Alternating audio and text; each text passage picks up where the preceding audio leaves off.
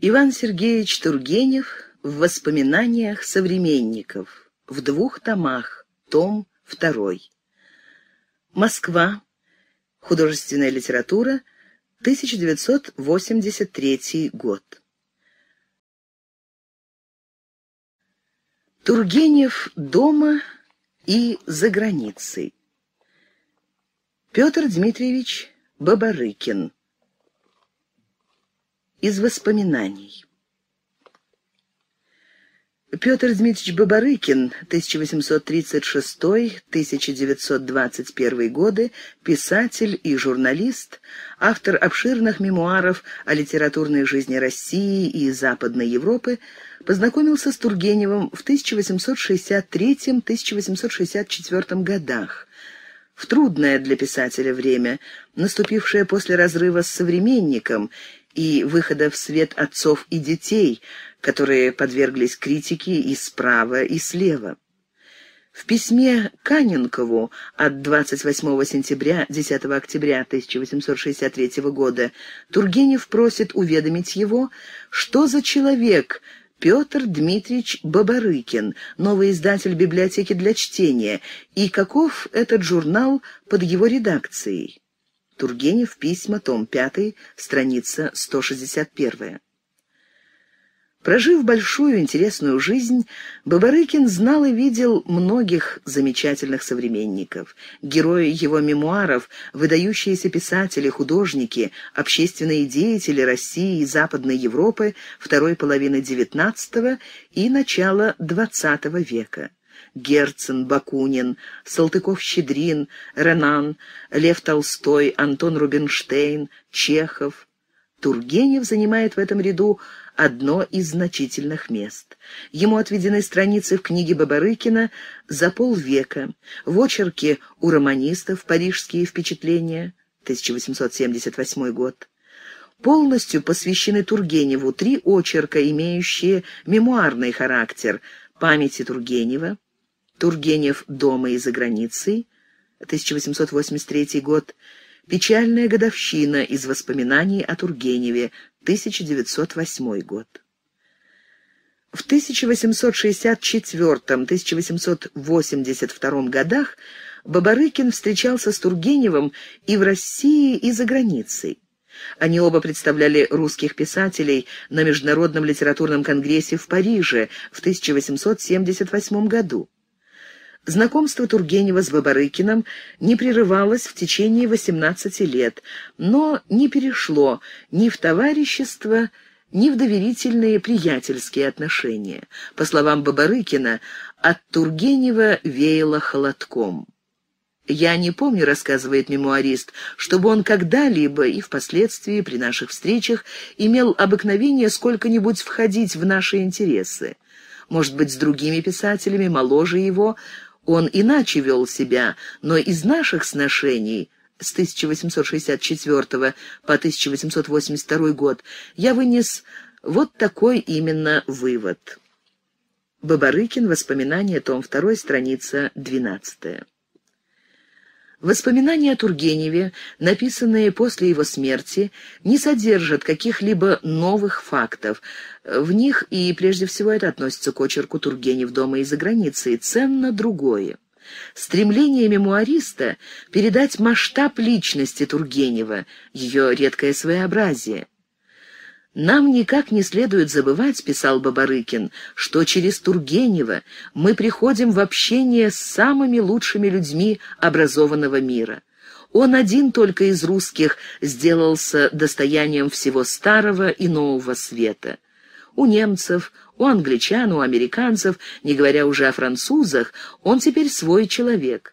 Популярность Тургенева основана на таких высоких мотивах, что в нем даже враги нашего Отечества видят выражение лучших сторон русской интеллигенции, самых светлых и двигательных упований нашего общества. Бабарыкин. Воспоминания. Том 2. Страница 371. Мемуарный очерк «Тургенев дома и за границей» впервые опубликован в газете «Новости» и «Биржевая газета», 1883 год, номер 177, 27 сентября. Текст печатается по изданию. Петр Дмитриевич Бабарыкин, воспоминания, том 2, Москва, художественная литература, 1965 год.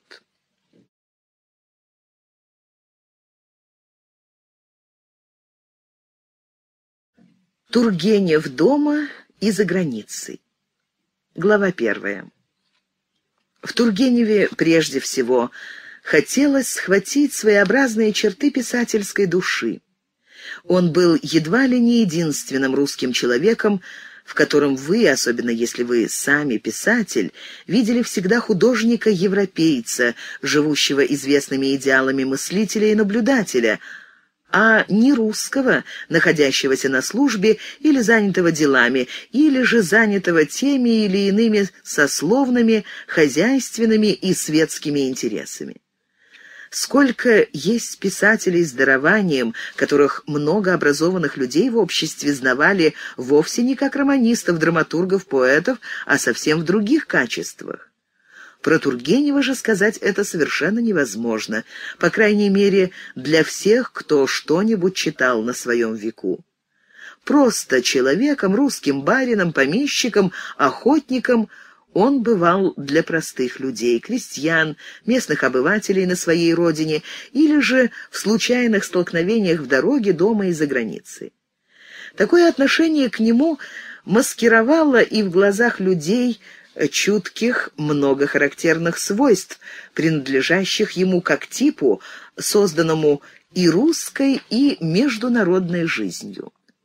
У нас до сих пор мало разбирали людей, достигших известности в сфере литературы, науки и искусства с бытовой точки зрения. Первую попытку этого сделал когда-то в своих критических статьях покойный Аполлон Григорьев. Его интересовала родина различных писателей и поэтов. Он находил у земляков многие родственные черты творчества, склада ума. Мысль о значении в творчестве местностей, одна из краеугольных в эстетической концепции Аполлона Григорьева, была им развита в статье «Иван Сергеевич Тургенев и его деятельность» по поводу романа «Дворянское гнездо», Имея в виду отношение художника к природе, критик называет Тургенева, Фета, Полонского, Тютчева, Льва Толстого отзывами известной местности. Аполлон Григорьев, литературная критика. Москва, художественная литература, 1967 год, страница 246. Это родство заключается, конечно, и в них самих, в их характере, манере, внешнем типе. И в Тургеневе сказывался барин из центральной великорусской местности, поюжнее от Москвы. Кто знавал его и вместе с тем знаком был с графом Львом Николаевичем Толстым, тот, конечно, согласится, что они оба очень похожи по типу, а по тону и складу речи их положительно можно было принять за родных братьев, хотя голос у них и не совсем был похож. Толстой также, если не родился, то обжился в местности из того же района. Тула и Орел по бытовой жизни близки между собою. Я употребил слово «барин». Знаю, что оно сделалось почти бранной кличкой. Но всякую тенденциозность мы оставим. Она должна уступить место правде, определению характерных особенностей, с чем бы они ни были связаны в глазах иного читателя, известное сословие жило несколько столетий не одними только грубыми хищническими интересами и побуждениями. Оно было и главным носителем образованности вплоть до половины нашего столетия. Каждому, думавшему о законах психологической жизни, известно, какую роль играют преемственность и наследственность. Вот эту-то наследственность барского склада и можно было изучать в Тургеневе. Совершенно справедливо, что две трети жизни, проведенные за границей, совсем не обесцветили его в этом отношении. В целой тысяче иностранцев он всегда выделялся не одной только своей огромной фигурой и живописной головой, а манерой держать себя, особенным выражением лица, интонациями голоса. Такому голосу при подобной фигуре у иностранцев трудно сложиться. Он был бы непременно сильнее, гуще или жестче, вообще гораздо эффектнее. Звук остался чисто русский, слабоватый, более высокий, чем можно было ожидать от такого тела, и опять-таки барский, а не чиновничий, не профессорский, даже не литераторский. Если взять среднюю манеру говорить петербургского журналиста за последние 30 лет. Тургенев немного шепелявил, не так резко, как, например, покойный актер Шумский или Павел Васильев, но с прибавкой чуть заметного звука «с». Это недостаток тоже дворянский, а не чиновничий и не купеческий. Но слабый голос и такая особенность произношения делали разговор Тургенева проще и привлекательнее. Иначе блеск его ума, художественная объективность и меткость определений выходили бы слишком красивы, стесняли бы собеседника своей старательной мастерской отделкой. Очертания головы в последние двадцать лет оставалось тоже. Волосы и бороду Тургенев носил без перемены прически. Манера держать ее была также барская, но вся голова, особенно в последние годы, напоминала русские деревенские типы благочинных бурмистров, стариков-пчелинцев и между родовитыми купцами попадаются такие лица. Народность в тесном смысле, то есть связь с крестьянским людом, сказывалась всего больше в некоторых особенностях лица, в складках лба, в бровях, в выражении посадки глаз, в носе, уже совершенно не имевшем ничего западноевропейского. И несмотря на то, что руки и ноги у Тургенева были большие, походка замедленная и тяжеловатая, в нем жил настоящий барин, все приемы которого дышали тем, что французы называют изысканностью, с примесью некоторой робости. Вот эта душевная черта тоже чисто русская, я бы сказал, даже дворянски русская. Француз-писатель да и всякий иностранец, если бы он наполовину столько жил на миру, как Тургенев, и достиг одной трети его репутации, давно бы утратил всякую робость. Ею надо было объяснить и ту сдержанность, кажущуюся суховатость тона, манеру говорить и руководить беседой, которые в Тургеневе многих приводили в недоумение но он очень легко сокращался, запирал для случайных собеседников ларчик, где у него лежало столько хороших интимных вещей. От чувства неловкости, навиваемого людьми или известным положением, местом, необходимостью играть роль знаменитого писателя, являлся и другой совсем тон, тот тон, который вредил Тургеневу в глазах радикальной молодежи. Но рядом с этим жило в нем всегда одно тоже настоящее барское свойство. Это способность сразу человеку малознакомому говорить о таких обстоятельствах своей жизни, которые обыкновенно усиленно припрятываются. Меня черта эта поразила как раз в первый же разговор, который я имел с Тургеневым в 1864 году. Перед тем я к нему обращался письменно, как редактор библиотеки для чтения.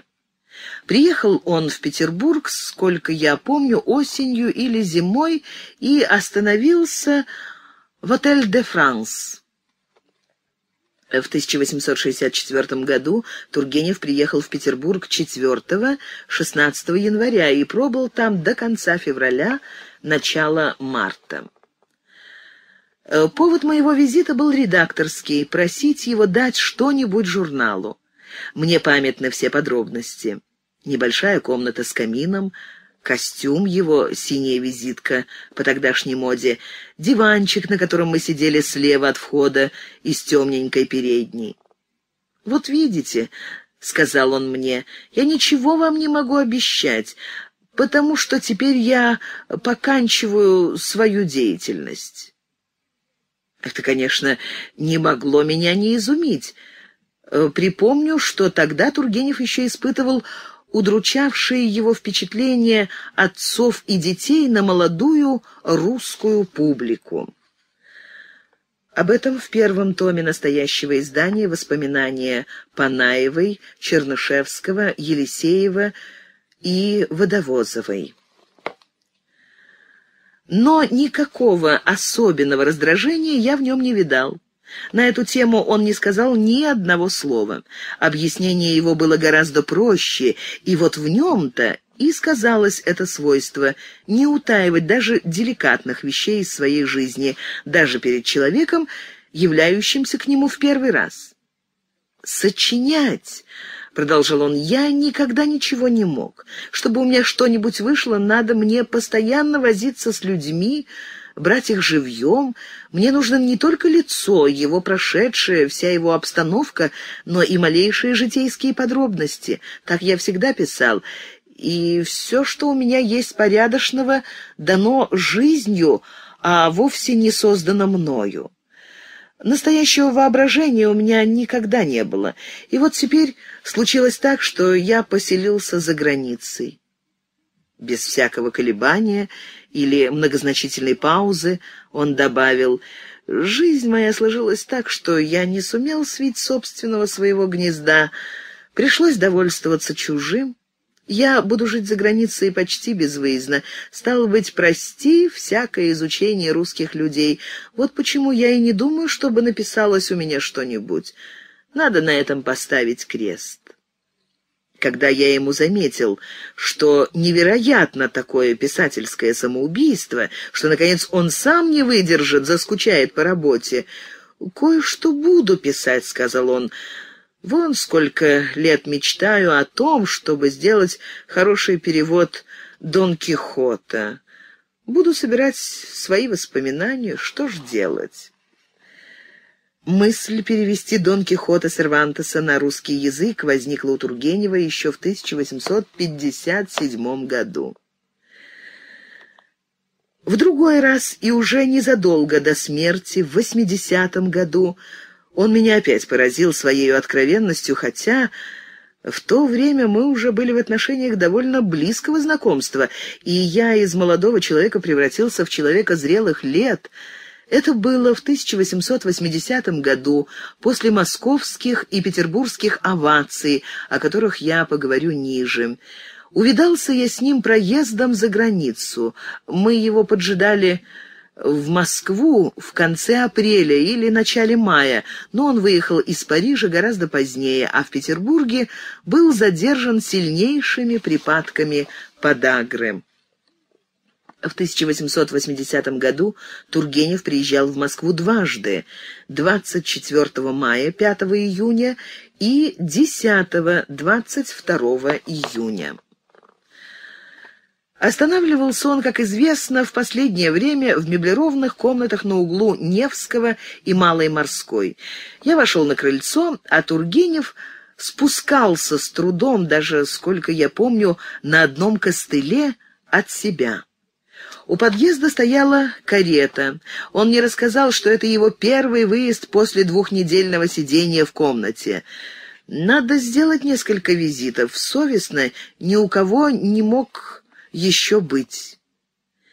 И тут на мой вопрос что его задержало, он ответил мне такой подробностью, которую я не имею права передать здесь, но еще более показавшей мне, что в нем в известные минуты сидела настоящая барская откровенность, иначе назвать не могу, которой вы не найдете у людей другого типа, как бы они ни были просты, искренни и смелы. Известных вещей они не скажут от той щекотливости, которой в Тургеневе не было относительно себя. Прибавлю маленькую подробность, не относящуюся прямо к этой характеристике. Сойдя с лестницы, он попросил зайти вместе с ним в магазин известного токаря Александра, э, помещающийся в том же доме, чтобы выбрать себе табакерку. «Стал нюхать», — говорил он мне с улыбкой, — Как старухи у нас толкуют, для глаз хорошо.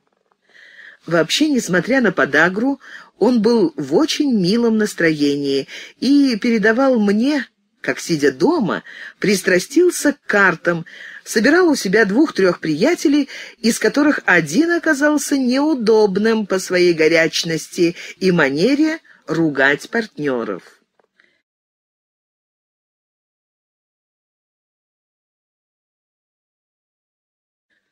Глава вторая. В среде иностранцев, особенно французов, я всего больше и видал его с ними. Тургенев, сохраняя свой народный барский тип в манере говорить, в тоне, превращался гораздо больше в общеевропейца, чем большинство русских.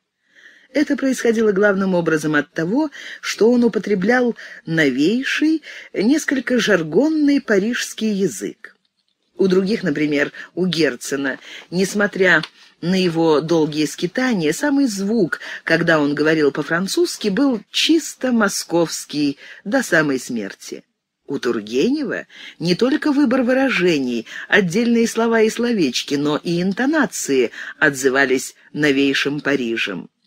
Он слишком много жил с французскими писателями, артистами и светскими людьми, чтобы на него не отлинял их язык. И вообще, мне кажется, на грунте несомненной своеобразности как русского писателя и человека у него было в житейском обиходе множество заимствованных приемов.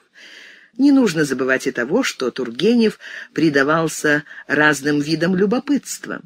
Был охотник, шахматный игрок, знаток картин, страстный меломан, и по всем этим специальностям он имел приятелей иностранцев. В их кружках неизбежно приобретал он известного рода пошиб речи и манер. Немца или человека, удержавшего в себе какие-нибудь хотя бы внешние влияния немецкого быта, манер, тона – я в нем решительно ни в чем не замечал в течение 18 лет, а между тем, не дальше, как несколько месяцев тому назад, я, признаюсь, был не особенно приятно настроен, прочтя случайно маленькое предисловие Тургенева к метавскому изданию его переводов, где он называет Германию своим вторым отечеством. В предисловии к немецкому переводу «Отцов и детей» Тургенев писал «Я слишком многим обязан Германии, чтобы не любить и не чтить ее, как мое второе отечество» Карлсруэ, 1869 год, а также Тургенев сочинение, том 15. Тоже он высказывал и по-русски в своих воспоминаниях, но там это как-то смягчается, и, вероятно, когда он уходил в самого себя и обозревал историю своего умственного развития, то признавал тот несомненный факт, что немцам, их университетам, их литературе, философской всесторонности, эрудиции он обязан тем, что стал настоящим европейцем по своим идеям, стремлениям и вкусам. Но, повторяю опять, немецкий склад жизни, ума и вкусов на него резким образом не отлинял. Не было этого и тогда, когда он жил в Баден-Бадене, где мне привелось посетить его. Бабарыкин посетил Тургенева в 1868 году. Об этой встрече с писателем он рассказал в девятой главе книги «За полвека». Петр Дмитриевич Бабарыкин. Воспоминания. Том 2. Страницы с 8 по 15. Напротив, в баденской своей вилле Тургенев смотрел настоящим туристом, полуфранцузом, полурусским, ничего не имеющим общего с туземным населением и местностью, кроме своей страсти к охоте. А в Шварцвальде по этой части порядочное раздолье. Я позволяю себе высказать ту мысль, что у Тургенева была платоническая любовь к немецкой умственной культуре, сохранившаяся как реликвия молодости, но в плоть и кровь его она нисколько не вошла. Да и стоит только перечитать его романы, повести и рассказы, чтобы найти то здесь, то там резкое отношение к немцу, к жестоким свойствам его характера, к его смешным сторонам, наконец, к его отсталости по удобствам и вкусу, к его невозможной кухне, так едко описанной Тургеневым в «Вешних водах», за что немцы довольно долго на него дулись, и до сих пор не могут ему забыть этих строк. В вешних водах, создававшихся после окончания франко-прусской войны, были сильны антипрусские тенденции. Как проглотят немецкие читатели господина Клюбера и прочие неприятности, сказанные их расе, беспокоился Тургенев, узнав о предстоящем переводе повести на немецкий язык. Тургенев, письма, том 9, страница 226. Случалось и мне слышать его разговоры с немецкими писателями. Он был необыкновенно хорошо знаком со всем, что составляет духовное достояние Германии, прекрасно говорил по-немецки. И из всех мне известных русских писателей он только овладел всесторонне знакомством с немецкой образованностью. Об отношениях Тургенева к немецким писателям в воспоминаниях Питча. Но все это было само по себе. Оно не накладывало печати ни на его привычки, ни на его разговор, не давало ему никаких исключительных немецких пристрастий. Прибавлю, однако, что в Тургеневе искреннее признание всех достоинств немецкой нации делало его не только беспристрастным, но и безусловным сторонником немцев во всем, чем они выше нас. Каких-нибудь выходок в русском вкусе насчет немчуры, вероятно, никто от него не слыхал иначе, как разве в каких-нибудь шутливых, забавных рассказах. К французам Тургенев вплоть до переселения в Париж относился, правда, немножко брезгливо. Можно даже сказать, что он не любил их. Очень хорошо припоминаю свой разговор с его ближайшим приятелем по поводу переселения Тургенева с семейством Виардо из Баден-Бадена в Париж. Переселение это было сделано из патриотизма. Виардо и его жена не хотели оставаться у пруссаков – продали, так же, как и Тургенев, свои виллы, переменили совершенно образ жизни и поселились на постоянное житье в Париже. «Да, бедный Иван Сергеевич», — говорил мне его приятель, — «должен теперь сидеть во Франции, а ведь он до французов куда не охотник, и весь-то склад жизни в Париже ему не по душе». Это говорилось как вещи давным-давно известные всем, кто близок с ним.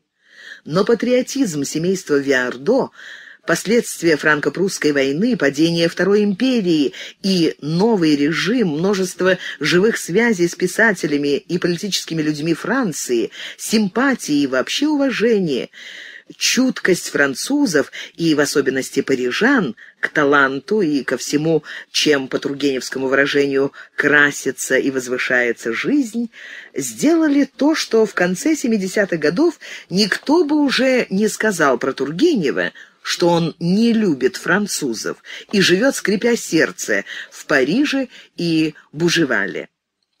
Нельзя было этому не порадоваться. В начале франко-прусской войны Тургенев был положительно на стороне немцев, что он и выразил в нескольких корреспонденциях, напечатанных в тогдашних петербургских «Ведомостях». Имеются в виду корреспонденции о франко-прусской войне, публиковавшиеся в Санкт-Петербургских ведомостях в августе-сентябре 1870 года. Тургенев, сочинение, том 15. Убежденный противник наполеоновского режима, Тургенев был сторонником поражения Франции Наполеона III в войне с Германией. На французскую литературу, на роман он смотрел с ходячей в 60-х годах русско-немецкой точки зрения. Говорю это не голословно. Стоит только заглянуть в его большое предисловие, написанное в Баден-Бадене, к переводу какого-то романа его знакомого э, Максима Дюкана, появившегося в издании госпожи Ахматовой. Речь идет о предисловии Тургенева к роману французского писателя Максима Дюкана «Утраченные силы», 1868 год.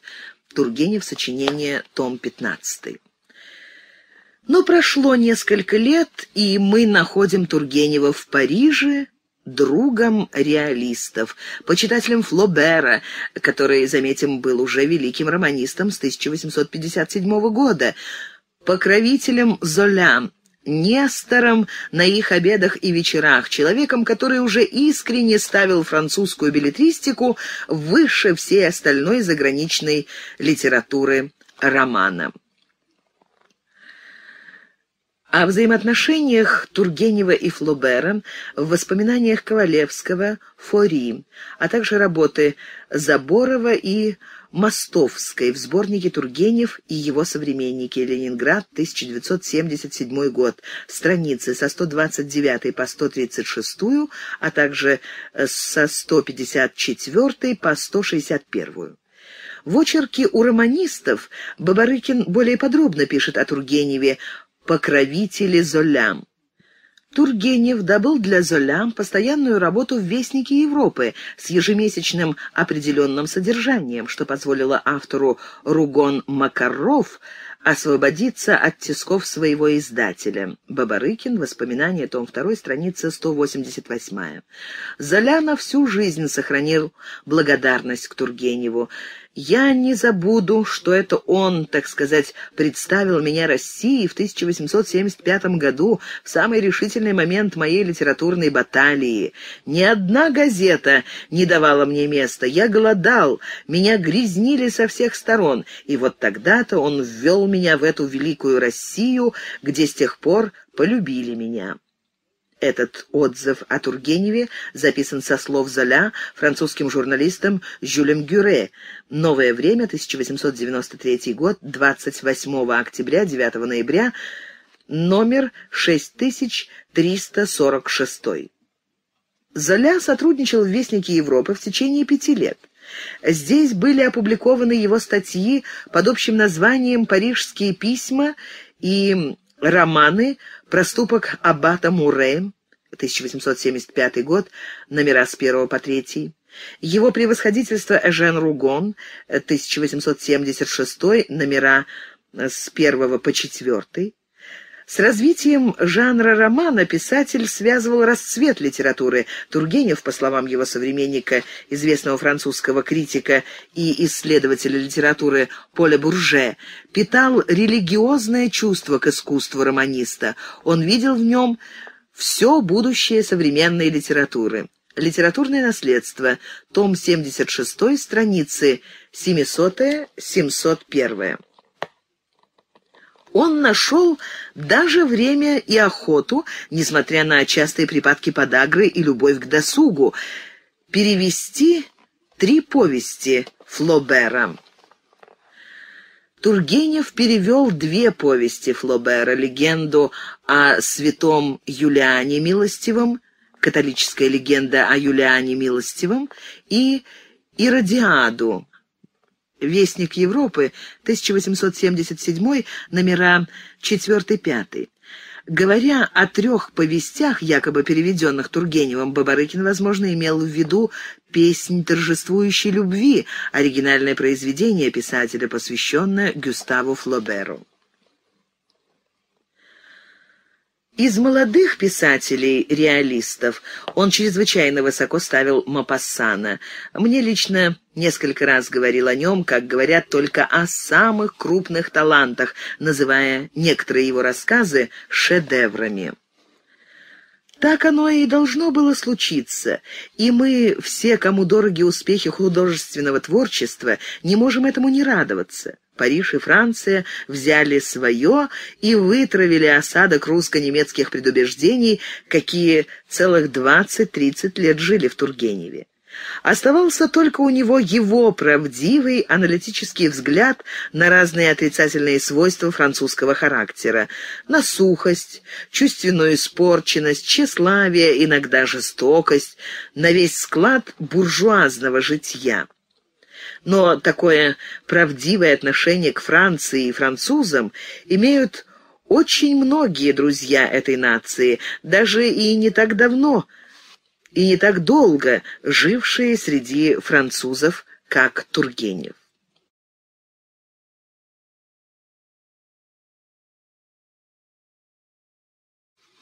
Глава третья. Этот русский тонкий европеец, несмотря на то, что у него было хорошее дворянское состояние, прожил свой век больше на биваках, во временных квартирах и таких же временных собственных домах, совершенно так, как Герцен. Тот умер в меблированных комнатах на Рю-де-Револи, а в Рю-де-Амстердам у него стоял собственный дом. И Тургенев умер в павильоне дачи «Ле Франс», Э, который владелица объявила своей собственностью вплоть до последнего стула его спальни, а его назвала в своем встречном иске жильцом, не имевшим будто бы никакой движимой собственности. Тургенев завещал Полине Виардо все свое движимое имущество. Арзуманова «Завещание Ивана Сергеевича Тургенева», Тургеневский сборник «Орел», 1960 год, страницы с 264 по 286. Такое же сходство с Герценом по части собирания книг, составления библиотеки. Не знаю, есть ли в усадьбе Спасского-Лутовинова обширная библиотека, но в Баден-Бадене и в Париже я не помню у Тургенева книгохранилища настолько крупного, чтобы оно занимало, например, целую залу или просторную комнату. Парижская библиотека Тургенева насчитывала свыше двух тысяч томов. Алексеев. По следам рукописей Тургенева во Франции. Русская литература. 1963 год. Номер 2. Страницы 56-57. В обстановке Тургенева даже в изящной баденской вилле чувствовался холостяк. Кабинет был узкий, суховато отделанный, совсем не наполненный множеством вещей, которые накопляются в комнатах семейного и домовитого человека.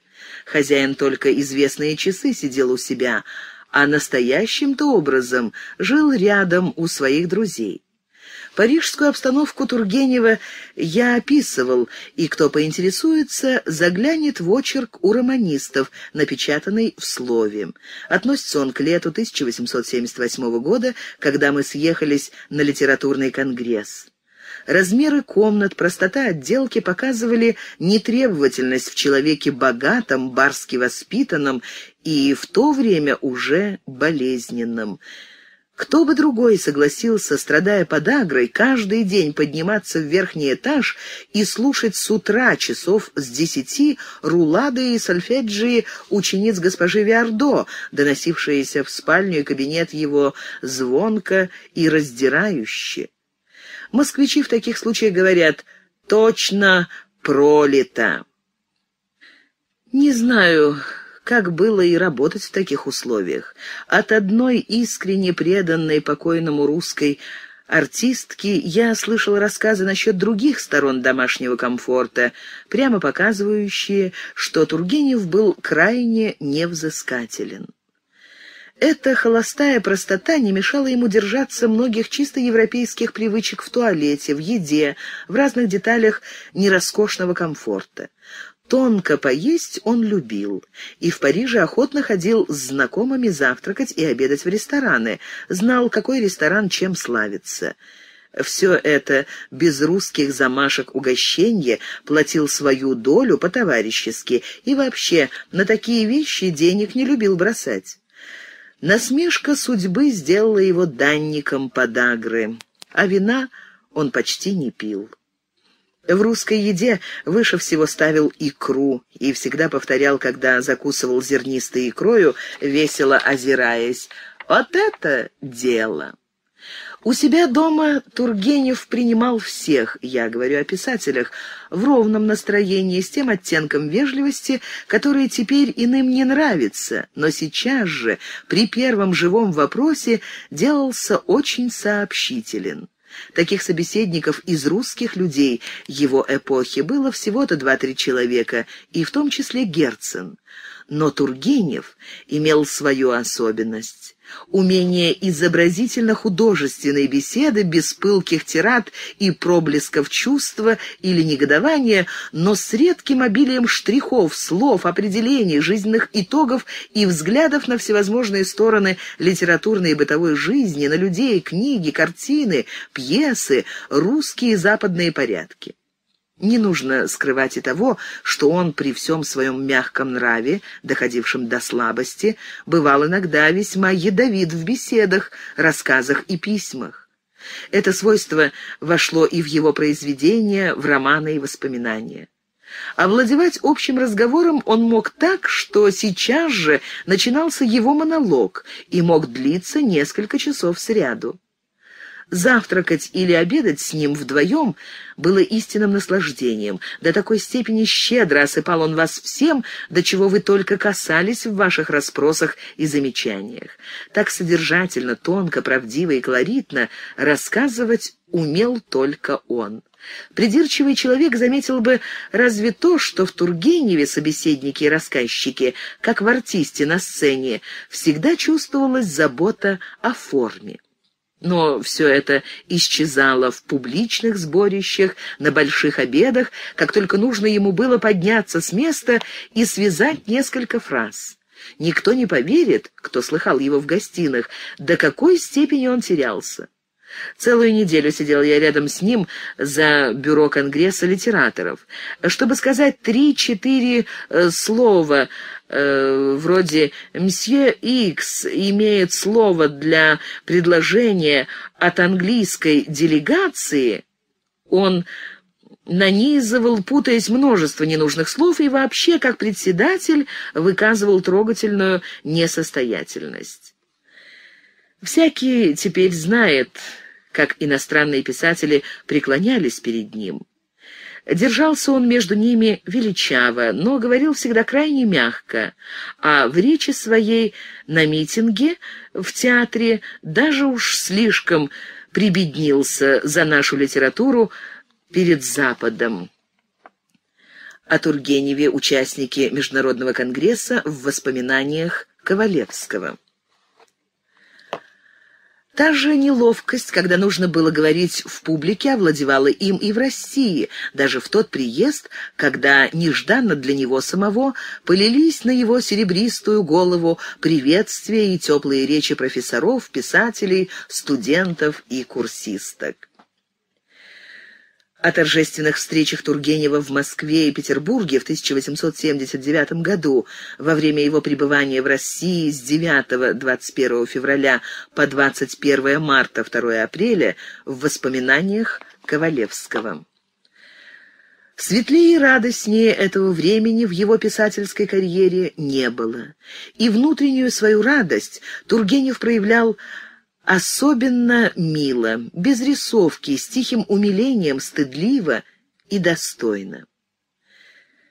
Теперь уместно припомнить еще раз ход этих оваций. Зародились они в Москве в кружке молодых профессоров, к которому примкнуло несколько человек писателей и адвокатов. На интимном обеде профессора Ковалевского мы в первый раз приветствовали Тургенева.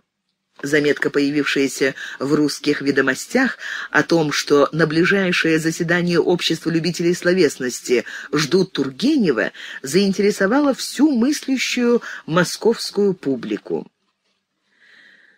Заметка Бабарыкина появилась в русских ведомостях в номере 42 17 февраля 1879 года.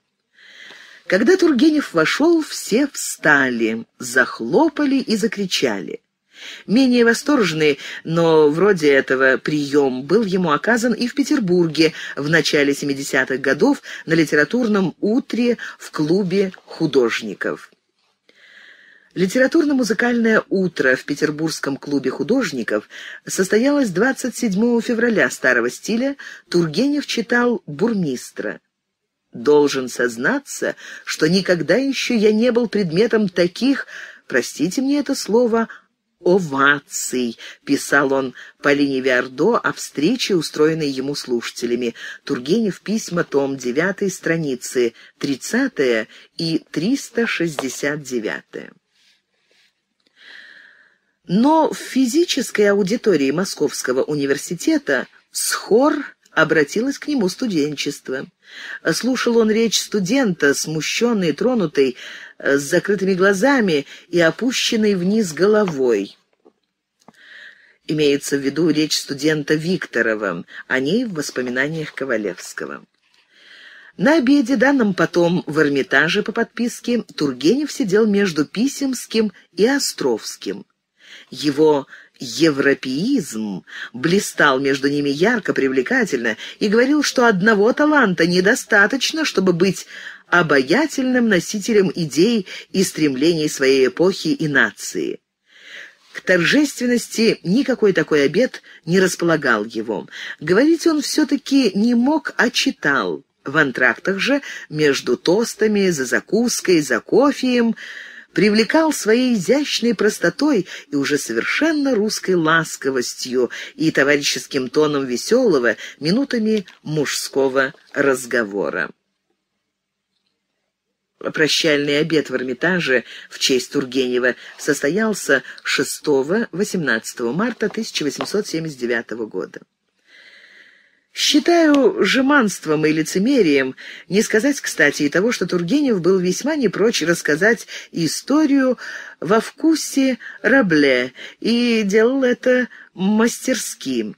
В нем в таких случаях сидел настоящий барин XVIII века, да и вообще идеализм его повестей, оттенок чувствительности и сладкой элегичности почти совсем не являлся в его беседах.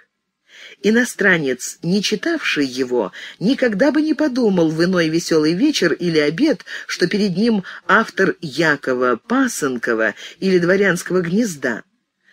Под этим отсутствием чувствительного тона таилась, быть может, известного рода стыдливость, даже немножко ложный стыд, очень знакомый нашим отцам. Стыдлив в обнаружении своих душевных волнений Тургенев был настолько, что раз, говоря со мной о работе с секретарем, а диктовке заметил, я и больной никогда не пробовал диктовать. Как же это? Иногда ведь взволнуешься, слезы навернутся, при постороннем совестно станет. Такую же стыдливость и тонкую оценку красоты – и грации выказывал Тургенев и к женщинам. Привязанность к одной особе взяла у него всю жизнь, но не делала его нечувствительным к тому, что немцы называют «das ewige Weibliche» — «вечно женственное». Лучшего наперсника, советника, сочувственника и поощрителя женщин, их таланта и ума трудно было и придумать. Способен он был и стариком откликнуться на обаяние женского существа. В Петербурге в зиму оваций я был в числе других гостей свидетелем шутливого разговора Тургенева с одной из своих поклонниц. Он ходил по комнате утомленный, без голоса, и вдруг говорит «Ах, если бы мне лет десять с костей, я бы в вас ужасно влюбился». «А вы попробуйте теперь», — ответили ему, — «право можно». Не только женщинам, но и мужчинам он всегда, здоровый на досуге, занятый или в постели, отвечал на каждое письмо по-европейски, иногда кратко, иногда обстоятельно, но всегда отвечал. Это в русском человеке дворянского происхождения великая редкость, потому-то его корреспонденция и будет так огромна. В ней окажется много писем без особенного интереса для его личности. Эти тысячи ответов покажут, как человечно и благовоспитанно относился он ко всем, кто обращался к нему. О двух наших последних встречах в Петербурге в 1880 году и в Париже в 1881 году Она была самой последней, я уже рассказывал. В том, что я набросал здесь, мне хотелось восстановить выдающиеся черты человека своей эпохи. Есть еще сторона для нас, писателей, высокого интереса. Тургенев, как мастер-художник, в своих беседах о работе, творчестве, приемах, направлениях вкуса. Об этом в другой раз.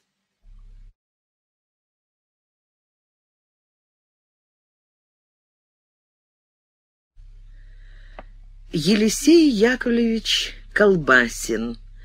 Из воспоминаний об Иване Сергеевиче Тургеневе. Елисей Яковлевич Колбасин, 1833-1885 годы, журналист, сотрудничавший в «Современнике», познакомился с Тургеневым в 1850-51 годах начинающий еще очень молодой литератор с глубочайшим уважением и восхищением относился к известному уже тогда писателю.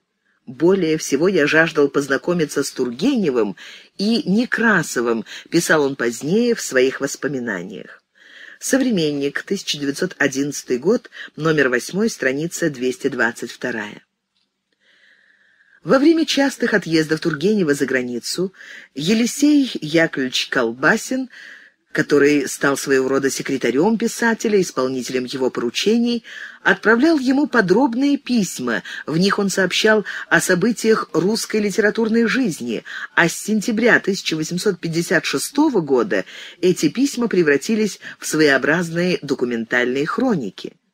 Сам Тургенев называл их ежемесячными отчетами и рассматривал как обычную литературную работу, за которую выплачивал Колбасину гонорар.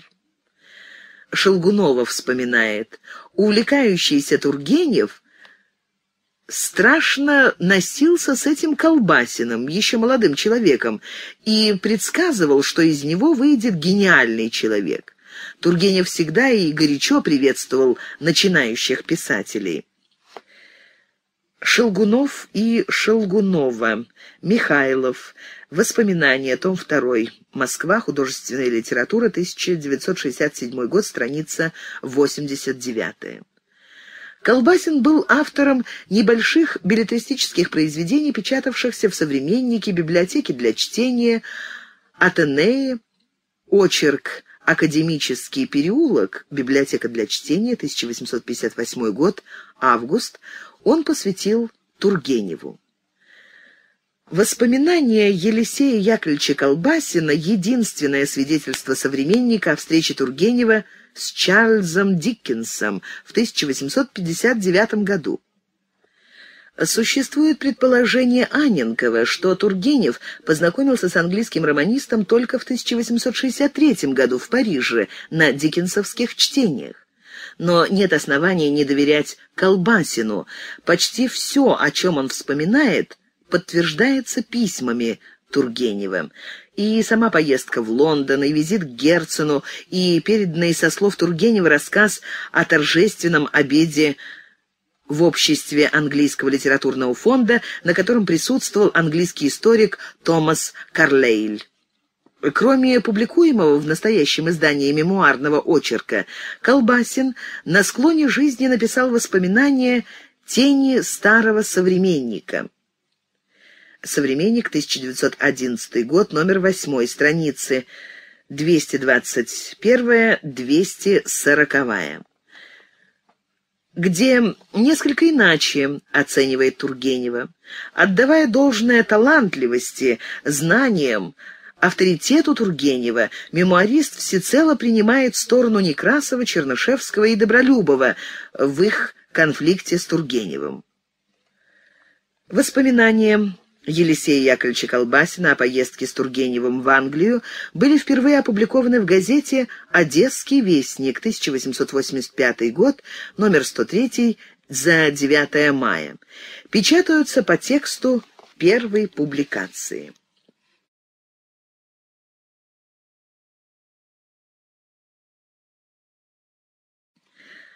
Расскажу одну из моих поездок в Лондон вместе с Тургеневым. Это было в 58 или 59 году. Я жил тогда в латинском квартале, столь известном всей русской молодежи, э, прежней и нынешней. С Тургеневым я виделся по нескольку раз в неделю. В один день ко мне вошел Иван Сергеевич и, не снимая шляпы, озабоченно произнес «Э, «Хотите, поедем завтра в Лондон?» Я стал отказываться, говоря, что в данную минуту могу располагать только тремястами франков. В те благодатные времена на наш бумажный рубль давали четыре франка и несколько сантимов. «Этого будет слишком достаточно», — сказал Тургенев. «Собирайтесь без замедления и не пропускайте случая увидеть туманный Альбион». На другой день мы выехали из Парижа по направлению к Булоне, где пересели на английский пароход. Елисей Яковлевич Колбасин и Тургенев выехали 20 мая 1 июня 1859 года. 9-21 июня 1859 года Тургенев писал Маркович «Я ездил в Лондон, пробыл там неделю и каждый день видел Герцена. Я возил к нему Колбасина, тот чуть не сошел с ума от восторга».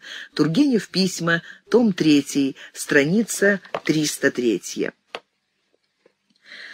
Всю дорогу Тургенев был по обыкновению любезен и весел. Много рассказывал смешных анекдотов о себе и о других литераторах.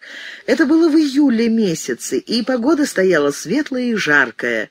Но, переезжая Ла-Манш, наш маленький пароход испытал такую громадную качку, что решительно всех укачало, кроме капитана и Тургенева, балансировавшего посреди палубы и закутанного в огромный черный плащ. Мы высадились в Дувре, и Тургенев, свежий и бодрый, посмеивался над моим изнеможением. Дорогой из Дувра в Лондон мы поменялись ролями. С каждой почти станцией Иван Сергеевич сверх обыкновения становился раздражительным и даже сердитым, несмотря на весь комфорт английского вагона и фешенебельную публику. Я спросил его о причине такой перемены. «Меня раздражают эти фланелевые люди», — отвечал он. «Посмотрите, что за суконные лица! Такие выполированные и холодные, как их резиновые калоши». Я смеялся, а он раздражался все более и более, и по своему обыкновению представлял все, очевидно, желая запугать меня, в преувеличенном виде. В подобных разговорах мы доехали до Лондона, и, катясь в щегольском экипаже по улицам его, Тургенев полусерьезно, полушутя произнес «Вы упрямый хохол, но не забывайте, что с тех пор, как мы ступили на английскую территорию, на вас и на меня смотрят здесь не больше, не меньше, как на обезьян». Так англичане думают обо всех иностранцах, и только французов считают за полулюдей. Готовьтесь ко всевозможным превратностям и бедствиям, которые посыплются на наши несчастные головы. Мы подъехали к одному огромному дому. Тургенев проворно выскочил из экипажа, переговорил с блестящим швейцаром и воротился ко мне с пасмурным лицом. «Первая неудача!» — воскликнул он. «Это еще цветочки, а ягодки впереди.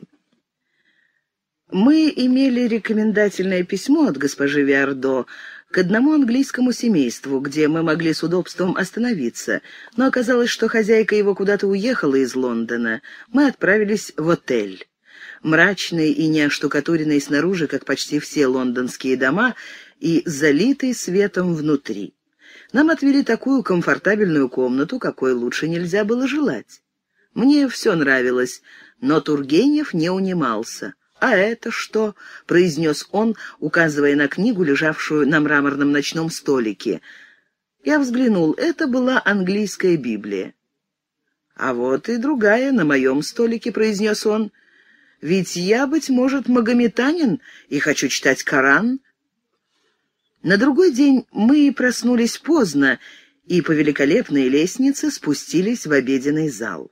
Я продолжал оставаться к досаде Тургенева в идиллическом настроении. Все мне нравилось. И вкусный чай с разнообразными печеньями, и тоненькие стальные рельсы, вделанные в полу, по которым ловко подкатил к нам стол с вставленным во всю ширину его колоссальным блюдом, где красовался чудовищных размеров ростбиф. Наши соседи, сидевшие за столом, ели молча и не проронили ни одного слова. «Какие свинтусы!» — ворчал Тургенев.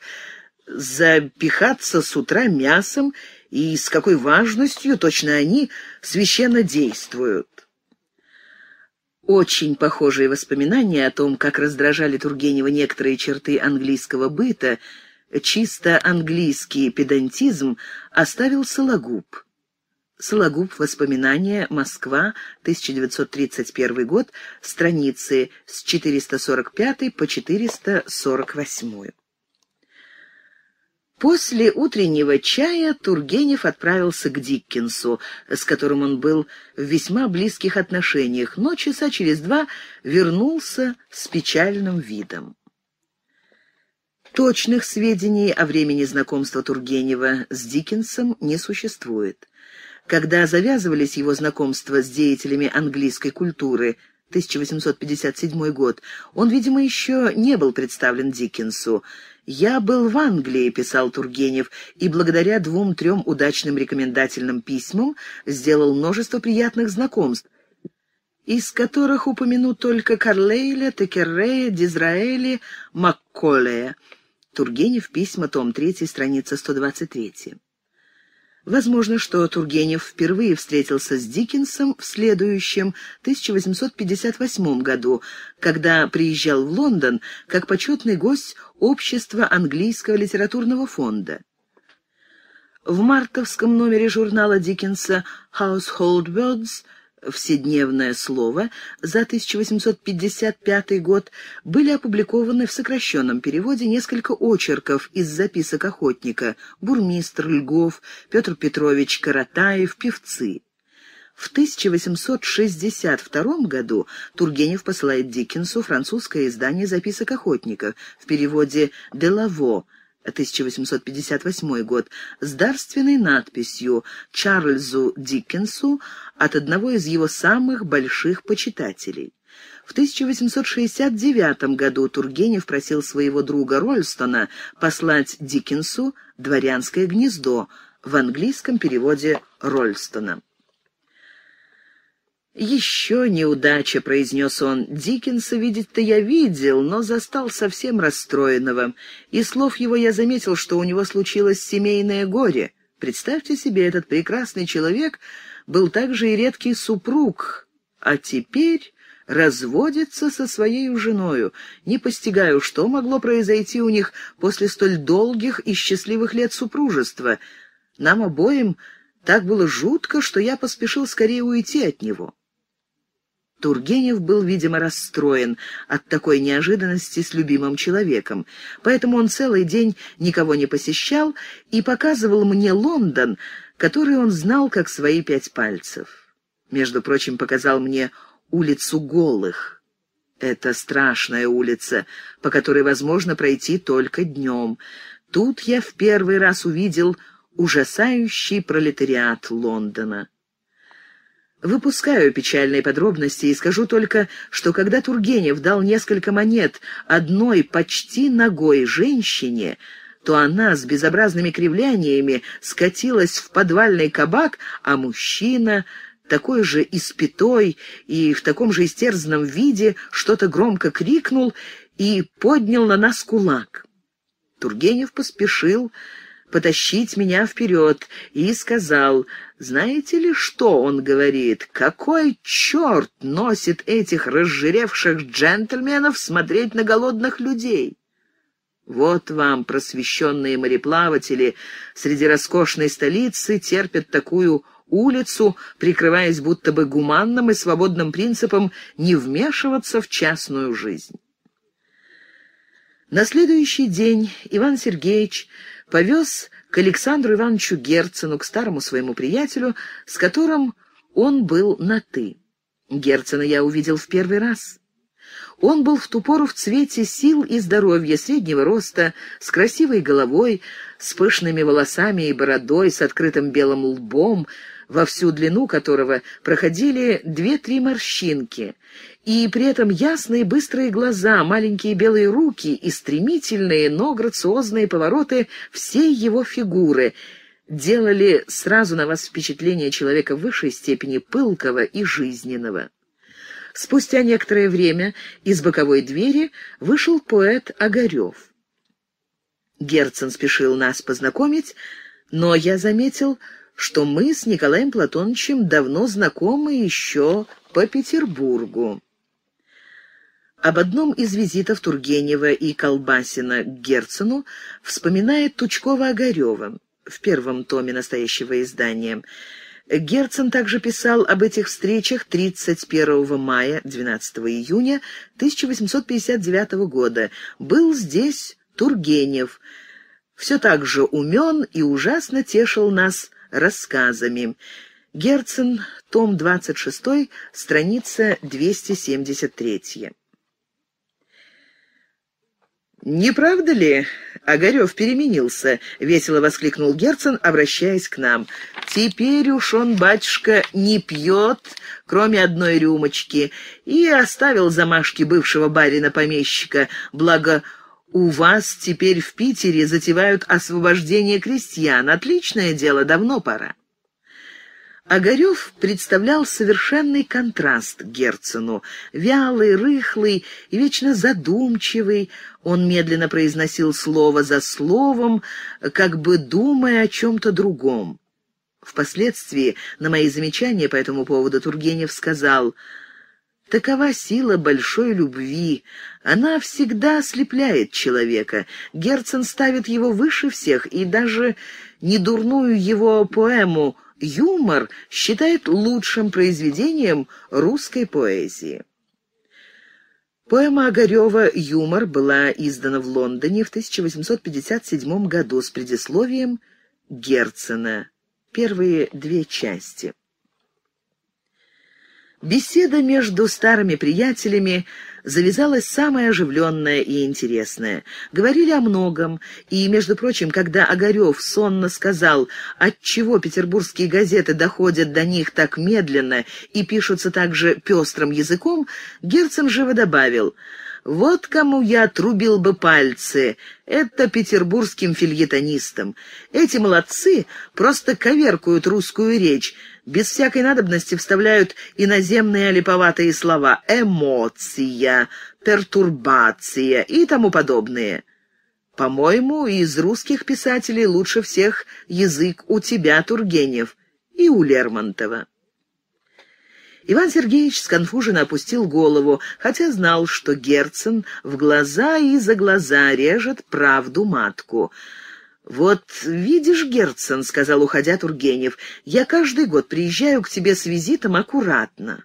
«Спасибо тебе, Тургенев, но, по правде сказать, тебя надо ловить за хвост. Вот и теперь ты уже берешься за шляпу». Действительно, Герцен был прав. В шестнадцатидневное пребывание наше в Лондоне Иван Сергеевич забегал к Герцену на часок, на другой, и то обыкновенно шутил с его красоткою пятнадцатилетнюю дочерью Натальей. С Тургеневым мы виделись только ночью в номере нашей гостиницы, но зато я имел возможность делать наблюдение над Герценом. Мне показалось, что у этого вечно веселого и остроумного человека где-то глубоко внутри лежит что-то тяжелое и трагическое, и что он тщательно скрывает это даже от близких ему людей, заглушая свое горе бойкой и блестящей речью. Одно для меня было несомненно — это безотрадный скептицизм, Александра Ивановича, давно изверившегося во все идеалы настоящего и будущего преуспеяния человечества, и при этом страстная, чисто стихийная любовь его к России. Мне кажется, что помимо личной симпатии, главной связью соприкосновения старых друзей была патриотическая любовь к родине. В один день Тургенев вернулся по обыкновению поздно и, застав меня еще не спящего, с досадою сказал, «Я сейчас от Карлейля, известного вам историка. Человек этот бесится от жира и высказывает столько нелепостей, что я хрип опровергаю его». Между прочим, этот писатель эксцентрический в своих писаниях, и в личных суждениях. Этот полубог нашего Василия Петровича Боткина доказывал мне, что мы, русские, должны радоваться нашей отсталости и невежеству, потому будто бы, что у нас еще возможны и герои, и гении, причем, конечно, бронил свою конституцию, и так как он противник освобождения негров, то также безучастно и презрительно относится к ожидаемому освобождению русских крестьян. Полубог нашего Боткина. С Томасом Карлейлем Тургенев познакомился в мае-июне 1857 года. Тургенев был принят в доме Карлейля, где знали и любили его творчество. О Тургеневе и Карлейле в статье Алексеева в литературном наследстве, том 61, страницы с 229 по 231, а также в книге «Неизданные письма иностранных писателей XVIII-XIX веков. Москва-Ленинград. Издательство Академии наук СССР. 1960 год. Страница 317».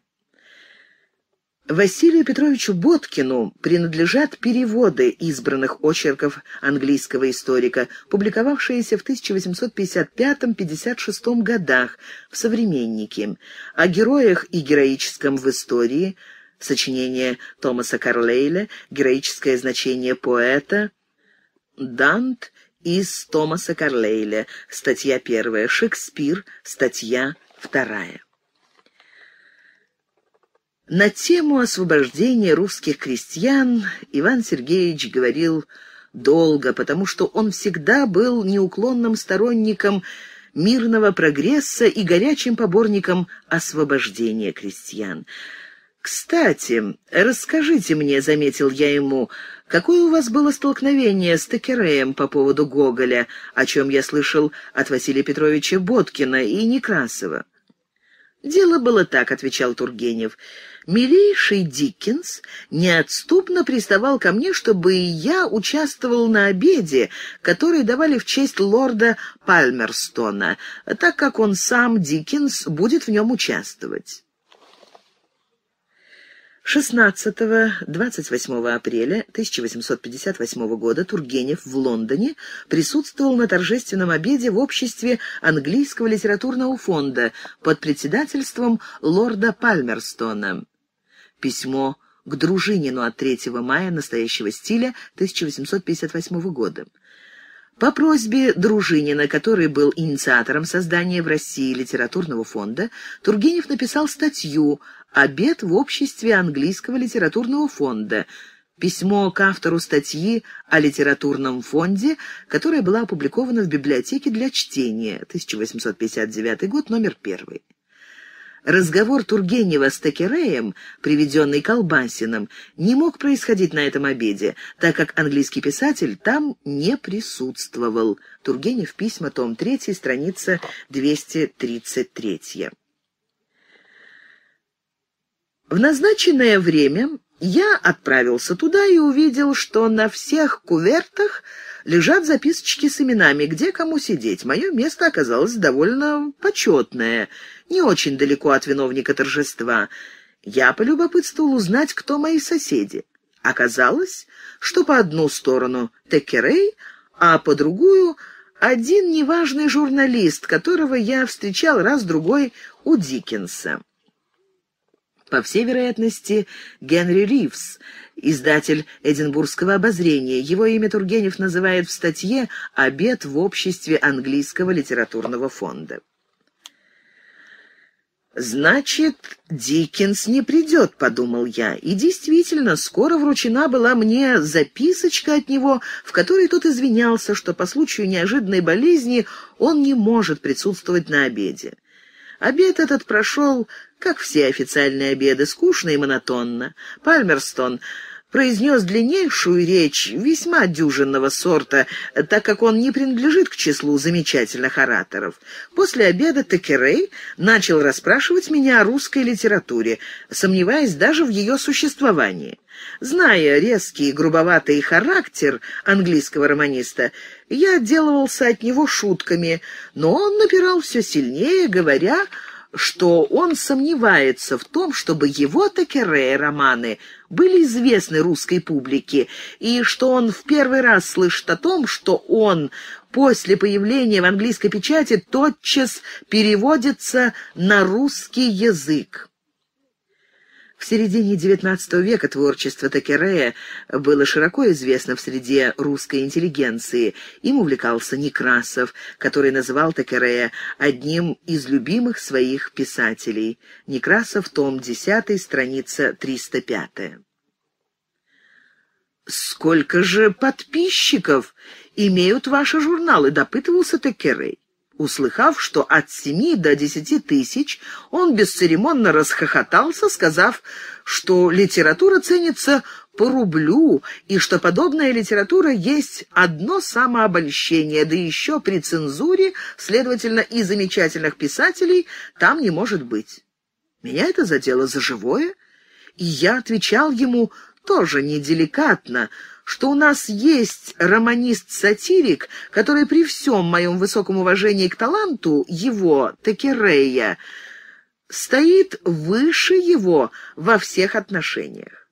Такирей взбеленился и запальчиво спросил, как имя его. Я назвал Гоголя, доказывая ему, что это великий юморист в романах, повестях и комедиях, Хорош гениальный писатель, о существовании которого Европа не знает, и читают только десять тысяч. Вот вам и моя размолвка с Текереем, из которой вы видите явное пренебрежение англичан к нам, русским. За два дня до нашего отъезда Тургенев предложил мне пойти вместе с ним в театр. Мы опоздали, поэтому возле нас не было публики. Протянув руку через маленькое проволочное окошечко, Иван Сергеевич получил два билета и, сосчитав сдачу, сказал мне, что кассир обсчитал себя. И вот рука снова протянулась в окошечко, и начались переговоры по этому поводу. В эту самую минуту к кассе подошел господин в богатом бархатном плаще, в цилиндре, такого громадного роста, что даже Тургенев был на полголовы ниже его. Подождав несколько секунд, этот господин без всякой церемонии схватил согнувшегося у окошечка Тургенева и оттолкнул его, протягивая свою руку в окошечко. Надо было видеть, что произошло с нашим Тургеневым.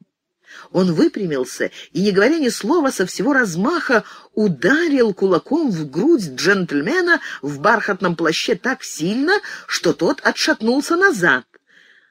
Я думал, что произойдет ужасная сцена, но, к удивлению моему, громадный джентльмен осклабил свои белые зубы и молча глядел на Тургенева, который, укоряя его в невежестве, торопливо достал из кармана свою карточку со своим адресом и сунул ему в руку, после чего мы удалились смотреть сценическое представление.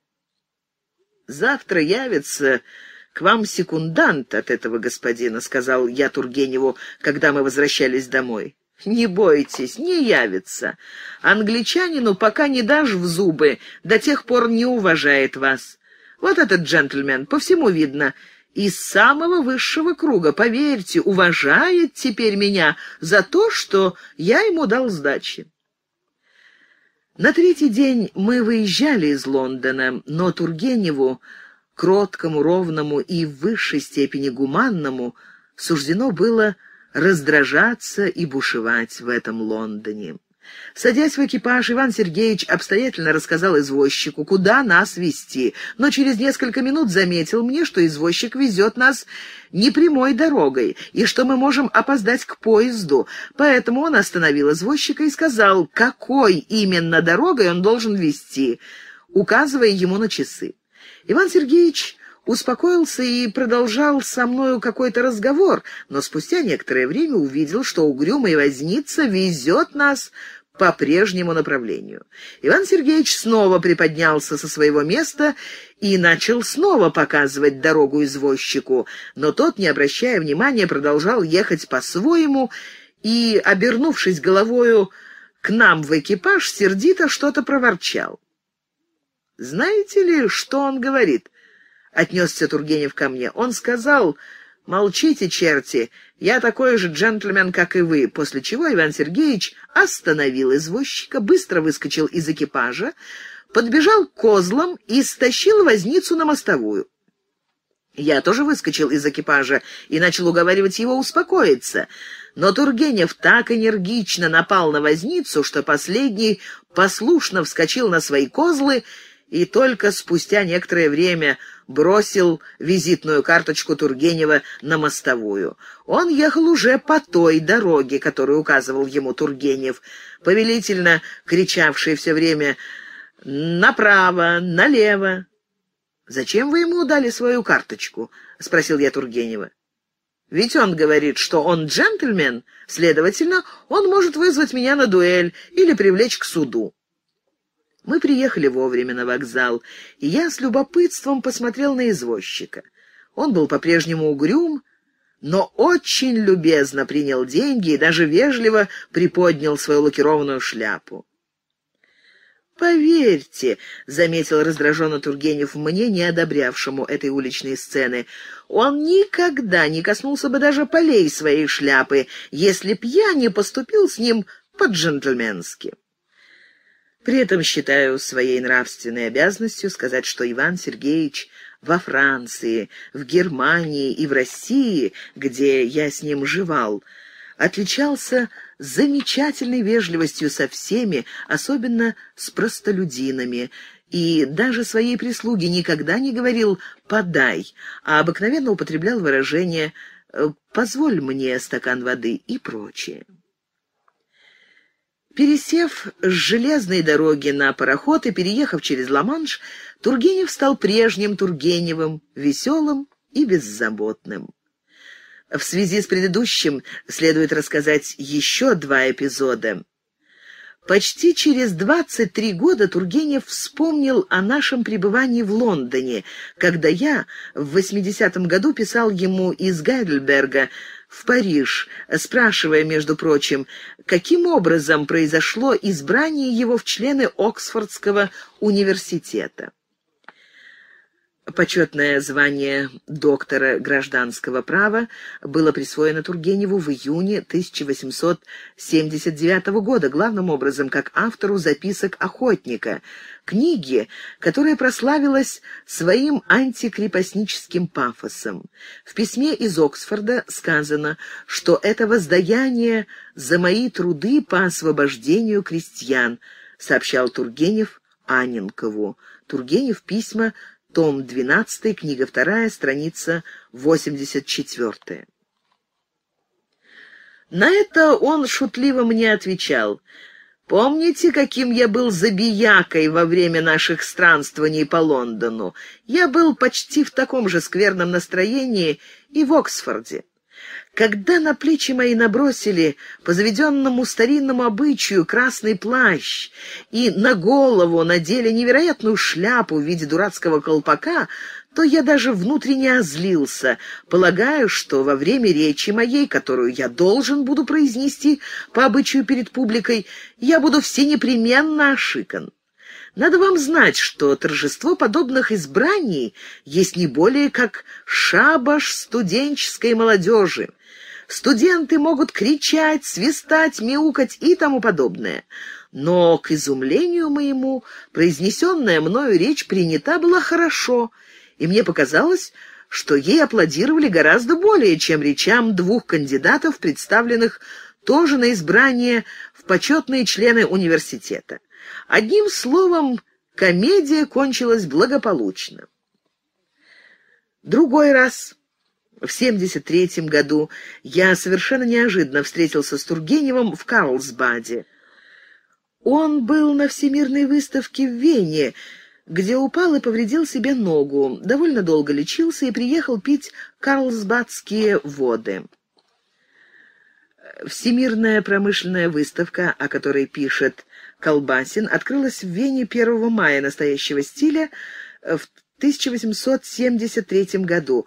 Я прибыл в Вену в прошлый четверг по дороге в Карлсбад, писал Тургенев, Онегину 4-16 июня, а в пятницу я, выходя из кареты, оступился и так сильно расшиб себе колено, что должен был слечь в постель. Вот как я видел Венскую выставку. Тургенев, письма, том 10, страница 112. В Карлсбад Тургенев приехал 8-20 июня. Здесь мы виделись ежедневно в маленькой русской компании, в числе которой находился известный ветеран, артист Петров.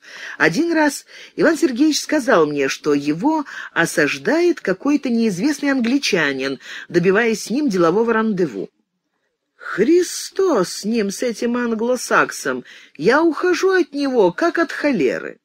Я стал убеждать Тургенева не избегать его, и он на это согласился с условием, чтобы я в назначенный час пришел в квартиру Ивана Сергеевича и вытащил его скорее на свежий воздух для гулянья в окрестностях. Я нарочно пришел раньше назначенного времени и, усевшись в уголке, перелистывал какую-то книгу. Скоро кто-то постучался в дверь, и в комнату вошел коренастый джентльмен с красным бритым лицом и щегольски одетый. Он заговорил на ломаном французском языке, и оказалось, что это был американец из Филадельфии. Иван Сергеевич отвечал ему по-английски, отчего последний пришел в восторг, говоря, что дело их пойдет на лад. Джентльмен, как мне подробно объяснил потом Тургенев, делал ему предложение отправиться с ним в Америку, где наш романист должен был читать публично свои произведения. На замечание Ивана Сергеевича, что его произведения будут неинтересны американской публике, он горячо возразил, что, во-первых, имя Тургенева известно в Америке, во-вторых, он не ожидал, что Тургенев говорит по-английски, в-третьих, отцы и дети получили огромную популярность в Америке, потому что Базаров родственный тип американцам, и что лет через десять в Америке будет город под именем Базаров, так как уже заложено его основание. Теперь, убеждал он Тургенева, существует один только намек на этот город, но уже разбиты колышки, очерчены площади, места для лавок и рынков, как это у нас делается всегда в незаселенных местах. И даю вам честное слово, что лет через десять-пятнадцать возникнет цветущий город Базаров. В заключение джентльмен преподнес самую главную приманку своего предприятия, а именно – они соберут по главнейшим городам Америки до ста тысяч долларов, из них восемьдесят получит романист, а двадцать он за свою инициативу. К удивлению джентльмена, Тургенев отказался на отрез, и последний приставал к нему упорно, навязчиво, сильно жестикулируя руками, доказывая, что Диккенс подобным путем положил основание своему состоянию. Он терзал Ивана Сергеевича более часа, пока я не взялся за шляпу, и Тургенев откланялся с ним. Когда мы вышли на свежий воздух, и я узнал все подробности разговора, то нарочно сказал ему, отчего бы не поехать ему, благо он не боится морской качки и получит огромный куш денег. «И как вы это говорите серьезно?» «Это ваше мнение?» — воскликнул Тургенев. «Неужели вы не видите, что это шарлатан, эксплуататор, который меня будет показывать на американских базарах как ученую блоху и в конце концов обдерет как липку?» Диккенс — другое дело, он закален с детства, притом англичанин-практик. И я вам скажу даже больше — когда в одном из американских городов Диккенс читает свой пиквикский клуб, то публика пришла в такой восторг и так оживилась его юмором, что начала кричать «Ботс-ботс!» тогдашний литературный псевдоним Диккенса. «Протанцуйте нам что-нибудь!» И Чарльз Диккенс, снявший элегантный фраг, стал выплясывать перед развеселившейся публикой, которая забросала его золотом и цветами. «Нет, слуга покорный», — с живостью заключил Тургенев. «Я смирный российский дворянин и не стану танцевать трепака даже за обладание двумя полушариями нашей планеты. Ведь этот эксплуататор-американец все налгал». Сообщение о фантастическом городе Базарове — чистейшая сказка. Обратите при том на то внимание, что он готов был, чтобы я читал перед американской публикой по-русски.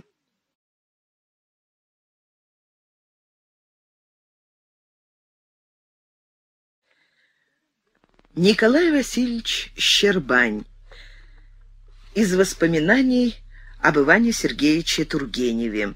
1861-1875 годы.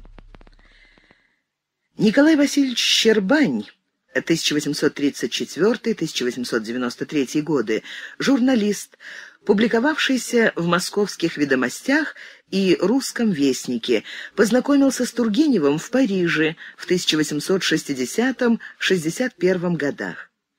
В то время Щербань был редактором газеты «Ле Норд», негласного органа русского правительства, которая издавалась в Брюсселе. Щербань, подобно Колбасину, исполнял обязанности литературного секретаря писателя.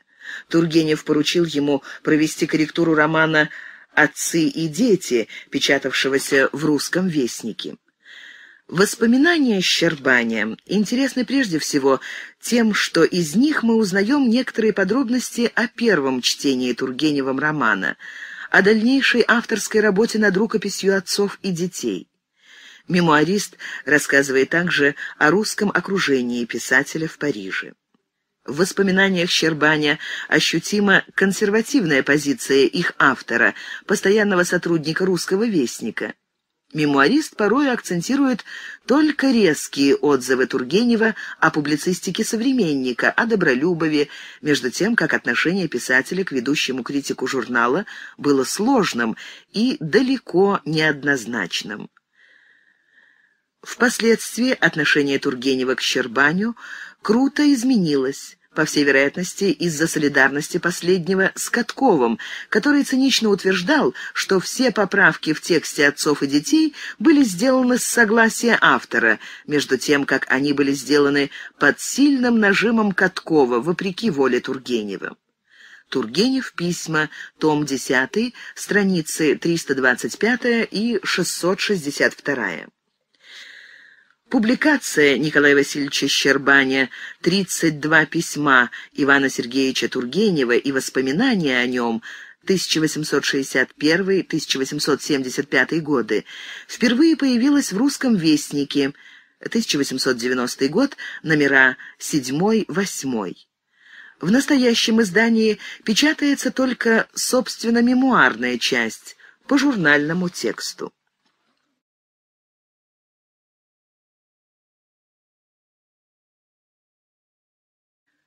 Тургенев квартировал напротив Тюильрийского сада, Рю Риволи, 210, в четвертом этаже.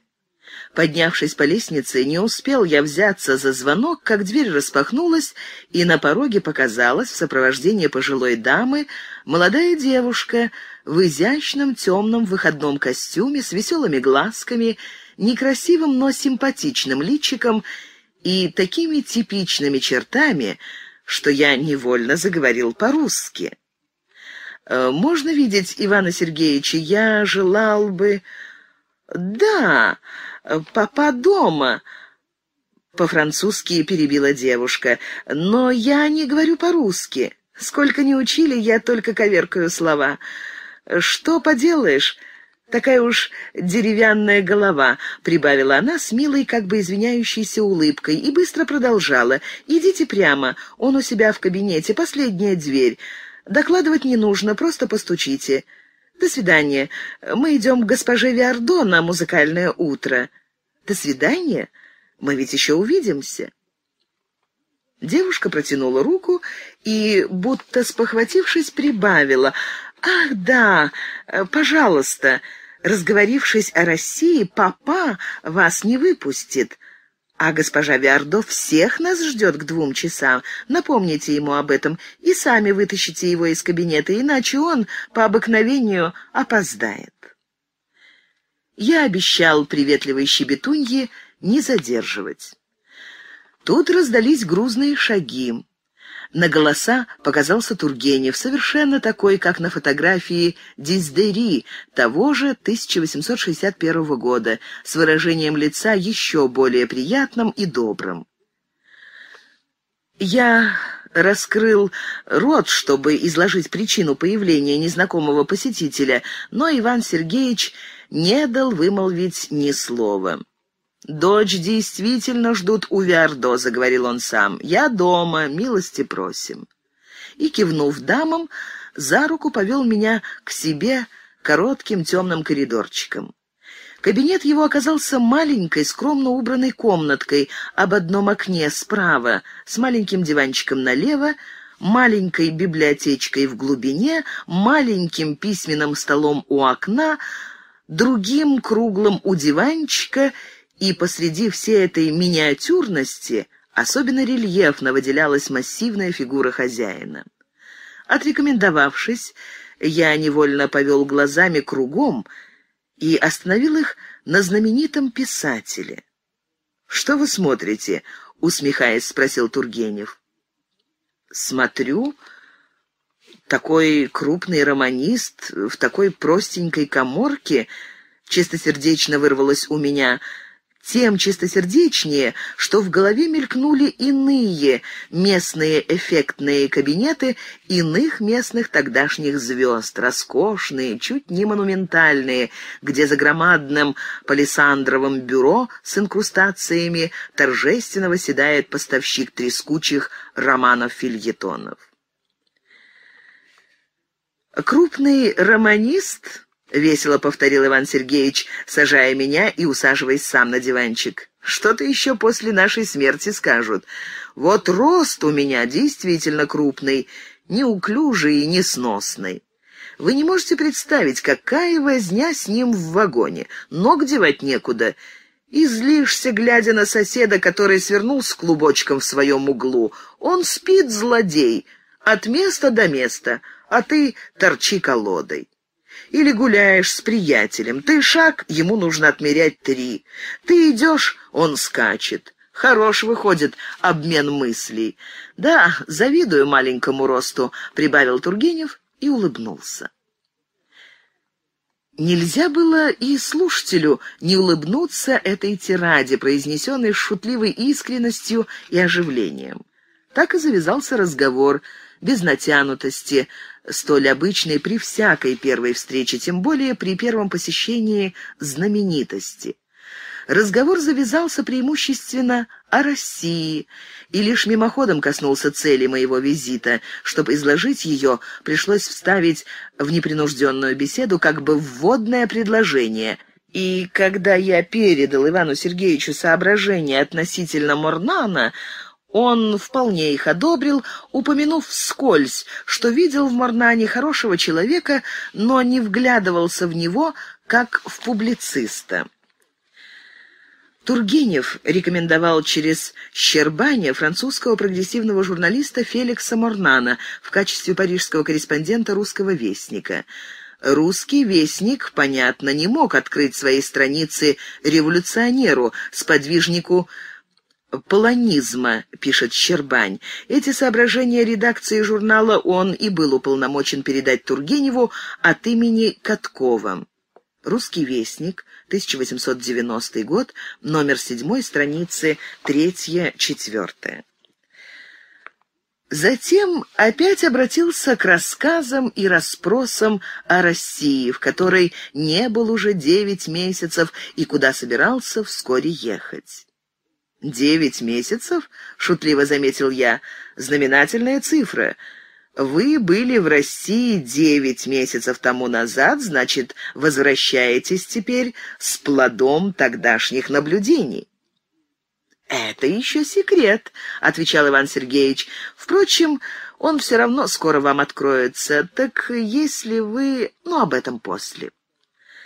Впоследствии оказалось, что он намекал на отцов и детей, которые были тогда уже готовы.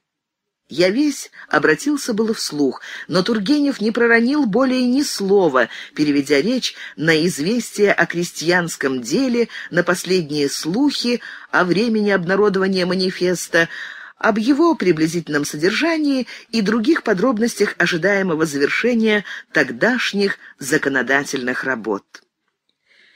И опасения дочери оправдались. Часы на камине давно пробили два, а Иван Сергеевич, несмотря на мои напоминания, все рассказывал или расспрашивал, так что пришлось буквально исполнить обещание объявить дочерний приказ о насильственном извлечении хозяина из дому. «Да я все равно опоздал», — отговорился Тургенев. «К тому же ничего нет особенного. Дочь воспитывалась у мадам Виардо, теперь ходит к ней каждый день после завтрака, продолжает уроки музыки. Зайдет еще кто-нибудь, и каждый день у них музыкальное утро. Лучше вот что. Морозит и ясно, было это в январе. Пройдемся по Тюллерийскому саду, если не боитесь гнаться за мною в припрыжку», — добавил он, и опять засмеялся. Это первое свидание так врезалось в память, что и теперь, более двадцати девяти лет спустя, я слышу каждое произнесенное тогда слово. Слышу легкое пришепетывание Ивана Сергеевича, так оригинально мило оттенявшее его говор. Вижу его высокую, плотную, мощную фигуру со светлыми юношескими глазами, но с сединой в бороде и усах, отброшенных назад кудрях. Вижу его улыбку, домашний костюм, серый пиджак, фуляр на шее, теплые башмаки а последующие в продолжении нескольких лет довольно частые встречи как-то сливаются, перепутываются своими деталями. Пока Тургенев ходил переодеваться, я рассматривал поближе обстановку кабинета. Возвратившись через несколько минут, он застал меня перед двумя небольшими картинами, висевшими на стене. На одной — коровы, другая — зимний пейзаж. «Ну что? Как вы находите?» — спросил он, становясь рядом. Я замялся. «Трудно сказать так сразу, Иван Сергеевич». «Да вы не отвиливаете, а отвечайте напрямки. Как вы находите?» «Коровы не дурные, пейзаж серенький», — признался я откровенно в своем мнении. «Не дурные?» «Серенький!» — с комическим негодованием передразнил Иван Сергеевич. «Серенький, потому что зимний. Ну, батюшка, знаток же вы. Это Поль Поттер, а это Мерис. И мне стоят они, каждая, около трех тысяч франков». Не смею решать, подлинные ли то были Мейрис и Поль Поттер, но они едва ли производили впечатление, соответствующее таким громким именам и таким по-тогдашнему значительным деньгам, как, впрочем, Некоторые и другие из полотен, постепенно купленных впоследствии Тургеневым, не столько по собственному влечению, сколько по рекомендации опытных художественных критиков, ослушиваться которых он стеснялся. Я повторил, что особенно ими не восхищаюсь и не узнал бы великих мастеров, если б они не были названы. «Вижу, что в эксперты вы не годитесь», — добродушно заключил Тургенев. «Пойдемте. Я шагать, вы скакать». В самом деле, Сколько Иван Сергеевич не умерял гигантский размах своих богатырских ног, следовать за ним приходилось чуть не бегом. Он начнет фразу над ухом и кончит ее за несколько аршин впереди. Остановится, подождет и опять исчезнет в пространстве. Чем живее лилась его речь, тем труднее становилось ее слышать. Известно, что в разговоре на ходу ноги торопятся вместе с языком. Рассказывал он, между прочим, как чуть ли не в самый день государственного переворота 1851 года, фланируя по итальянскому бульвару, подвернулся с сопровождавшим его приятелем под натиск разгонявшей толпу полиции, как они улепетывали, и выходило, будто он подражает теперь тогдашнему своему бегству, изображает его в лицах. Так что, промчавшись через Тюильрийский сад и площадь Согласия, он сам утомился и предложил отдохнуть на одном из расставленных вдоль Елисейских полей плетеных кресел. Переворот 1851 года, речь идет о бонапартистском перевороте во Франции в июле 1851 года. Морозец вскоре слегка ознобил нас и прогнал. При расставании Тургенев раз навсегда пригласил бывать у него без церемонии и почаще, пояснив, что дома он утром до двух часов, вечером, если сам не отозван, не считает завернувшего к обеду гостя татарином. На другой же день он аккуратно отдал визит и повторил приглашение. Он был весьма приветлив ко всем русским, с оттенком особого внимания, даже расположения к знакомым с авторскими наклонностями или хотя со склонностью к литературе. Вслед за тем, кажется, в феврале Иван Сергеевич уехал в Россию, показался оттуда на короткое время и опять скрылся. По возвращении его, помнится, в сентябре, мы часто виделись. Наиболее близким в Париже человеком к Тургеневу, неразлучным его спутником, товарищем и советником, был тогда друг его с молоду, Василий Петрович Боткин, которого Иван Сергеевич величал дедом и ментором, и на которого, заортачившись, негодовал, что ты мне за дядька дался, однако не выходя из повиновения. Тургенева и Боткина, знатока литературы, живописи и музыки, связывали многолетние дружеские отношения. Писатель видел в нем бесценного товарища и советчика. Однако, несмотря на давнюю привязанность к другу своей молодости, Тургенев нередко вступал с ним в полемику. Эстетство Боткина, особенно развившееся в последние годы его жизни, раздражало Тургенева. О взаимоотношениях с Боткиным – в сборнике Василий Петрович Боткин и Иван Сергеевич Тургенев. Неизданная переписка. 1851-1869 годы. Москва, Ленинград, Академия, 1930 год. По-видимому, крепкая привязанность соединяла эти две противоположные натуры, особенно привязанность к Тургеневу Боткина, который смотрел за своим телемаком и старался оберегать его. Затем в коротких отношениях с Иваном Сергеевичем находились постоянные парижские обыватели – Ханыков, князь, Трубецкой, тесть покойного князя Орлова, Николай Иванович Тургенев, некогда близкий к декабристам, граф Десиркур, женатый на русской. Из проезжих соотечественников чаще всего встречались у него Случевский, которого Тургенев ценил и как человека, и как поэта, Скорятин, журналист, брат его, Скорятин, моряк-севастополец, адмирал Бутаков, генерал Краснокутский, тогда командир лейб-гвардии Гродненского гусарского полка. С французами, кроме семьи Виардо, Иван Сергеевич тогда еще не очень ладил, даже с литераторами. Он не совсем еще сошел тогда с того штандпункта, который выражен в письме 10 июня 1859 года Аненкову словами «Все французское для меня воняет, и лучше возиться с французским лавочником, чем с французскими умниками».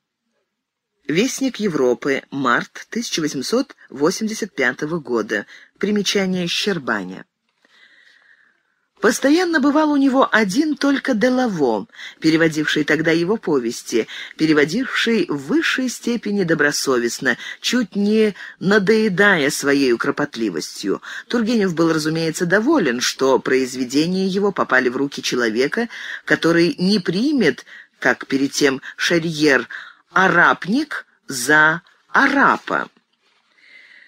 Шарьеру принадлежал первый французский перевод записок охотника, 1854 год, изобилующий неточностями, буквалистскими оборотами, которые нередко искажали смысл русского подлинника. Свое недовольство переводом Тургенев высказал в печати.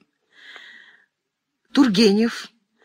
Сочинение. Том 15. Страницы со 129 по 131 но слегка тяготился просмотром его рукописей и с лечением их с оригиналом подчас доверял Боткину или мне.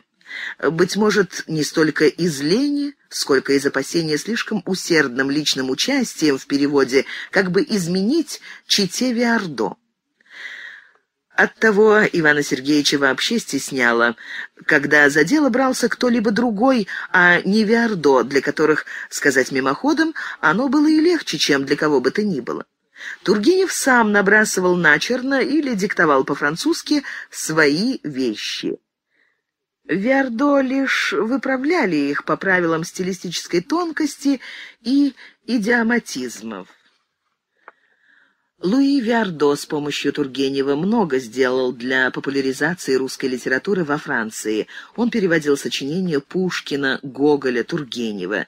Полина Виардо, не принимая непосредственного участия в переводческой деятельности своего мужа, часто бывала первой слушательницей новых произведений Тургенева и их французских переводов. Оригинальные переводчики, нужно, однако, прибавить, что они оказывали Тургеневу значительную услугу. Без обширных книгопродавческих и газетных связей, которые Виардо пускали в ход, озабочиваясь сбытом своего уже товара, без литературных знакомств, которые преимущественно они доставляли Ивану Сергеевичу, переводы его повестей покупались бы издателями менее охотно, шли бы туго, и реноме Тургенева во Франции медленнее достигло бы приобретенных им размеров. Французская публика вообще уклоняется от чтения иностранных писателей, тогда уклонялась и от русских, не усыновленных еще модою. Чтобы приманить ее, познакомить, приучить и приручить, чтобы сделать для нее привлекательным чужое литературное имя хотя бы первоклассного автора, нужно было дружное содействие издателей и критиков, недостижимая без такого практика, как господин Виардо, посвященного во все приемы, во все тонкости парижской моды еще со времени своего управления труппой певцов итальянской оперы 1837-1840 годы. До двух часов пополудни Иван Сергеевич отдавал себя в распоряжении посетителей, преимущественно русских, кто-нибудь из которых всегда находился у него в эту пору. Некоторые — Боткин, Ханыков, Случевский, Скорятин и автор этих строк, кроме того, частенько и обедовали с ним у Вефура. Обеды повторялись регулярно, почти каждую неделю — Разве мешала им болезнь Ивана Сергеевича, который и тогда прихварывал? Над ним подшучивали, обзывая его недуги капризом или кокетничаньем, ибо весть о нездоровье Тургенева вызывала тревожное ухаживание за ним поклонников и друзей, очевидно, ему приятное. Но болел он действительно. Во-первых, замечательную мнительностью, доходившую до того, что одно время, в 1862 году, он воображал себя пораженным аневризмом и все нянчился с немецкую машинкою, не помню, Фридрейха или Гейлигенталя, рисующую на бумаге прыжки сердцебиений — во-вторых, припадками не только своей официальной спутницы, как он шутил, подагры, но еще и невралгии пузыря, которая, жаловался он, внедрилась в него с 1849 года, которой он боялся больше подагры и которая мучила его нестерпимо. Раз, когда его схватило, и он беспомощно лежал в своей спаленке близ кабинета, тоже куда не роскошной, он вдруг приподнялся на постели и с таким страдальческим выражением что за него стало больно, проговорил. Давно уже на улице на моих глазах вытащили из-под омнибуса человека. Он тут же и скончался, но успел сказать, что сам бросился под колеса от невралгических мук. Он ведь был раздавлен, но повторял «Ах, какое облегчение! Я понимаю этого человека». Принимая у себя Председательствуя на еженедельных обедах, Иван Сергеевич был всегда говорлив, оживлен, весел. И внезапно его передергивало. По лицу облачком пробегала какая-то тень, Тучка эта и в том году, и после навертывалась неожиданно, безо всякого видимого повода, при полном телесном здоровье данной минуты, посреди самого блестящего, иногда юмористического рассказа. Тургенев на мгновение омрачался, потом, как бы отмахнув что-то от себя или что-то пересилив, становился прежним увлекательным собеседником. В кабинете Тургенева за обедом с ним многое было говорено и высказано, преимущественно им самим, охочим и неистощимым рассказчиком. О литературе и искусстве, о тогдашних литературных деталях, Текущей политики тогда он касался изредка и без особенного жара, отшучиваясь от политической злобы дня французскую поговоркою которую переводил словами «довольно каждому возни» и со своими собственными собаками. Не приходило в голову тогда же записать все разговоры, толки, споры, суждения, но многое сохранилось в бумагах, привожу дословно несколько отзывов.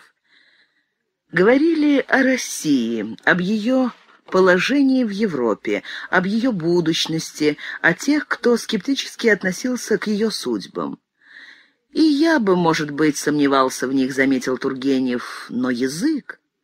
Куда денут скептики наш гибкий, чарующий, волшебный язык? Поверьте, господа, народ, у которого такой язык, народ великий. В другой раз речь зашла о возникавших в России революционных затеях. Всякий выражал свое мнение. Иван Сергеевич молчал, пока к нему не обратились с прямым вопросом. Тогда он встал, выпрямился во весь рост и произнес с особенным ударением «Сказано и останется верным, не приведи Бог видеть русский бунт, бессмысленный и беспощадный». «Кем сказано?» — осведомился один из присутствующих, аз грешный. «Пушкиным в капитанской дочке!» — негодующим тоном вмешался Боткин и прочел злополучному вопросителю небольшой трактат о том, как позорно его невежество. «Не помнить Пушкина?» Не узнать цитаты из Пушкина, долго ворчал Василий Петрович. Цитата Тургенева находится на странице 544 тома 4 сочинений Пушкина в издании Исакова 1859 года. Примечание Щербаня.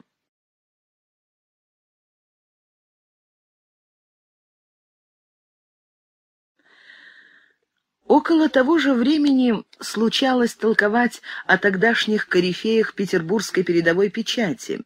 Тургенев не признавал за их писаниями никакой обаятельности, никакой деловитости содержания и даже никакой даровитости изложения.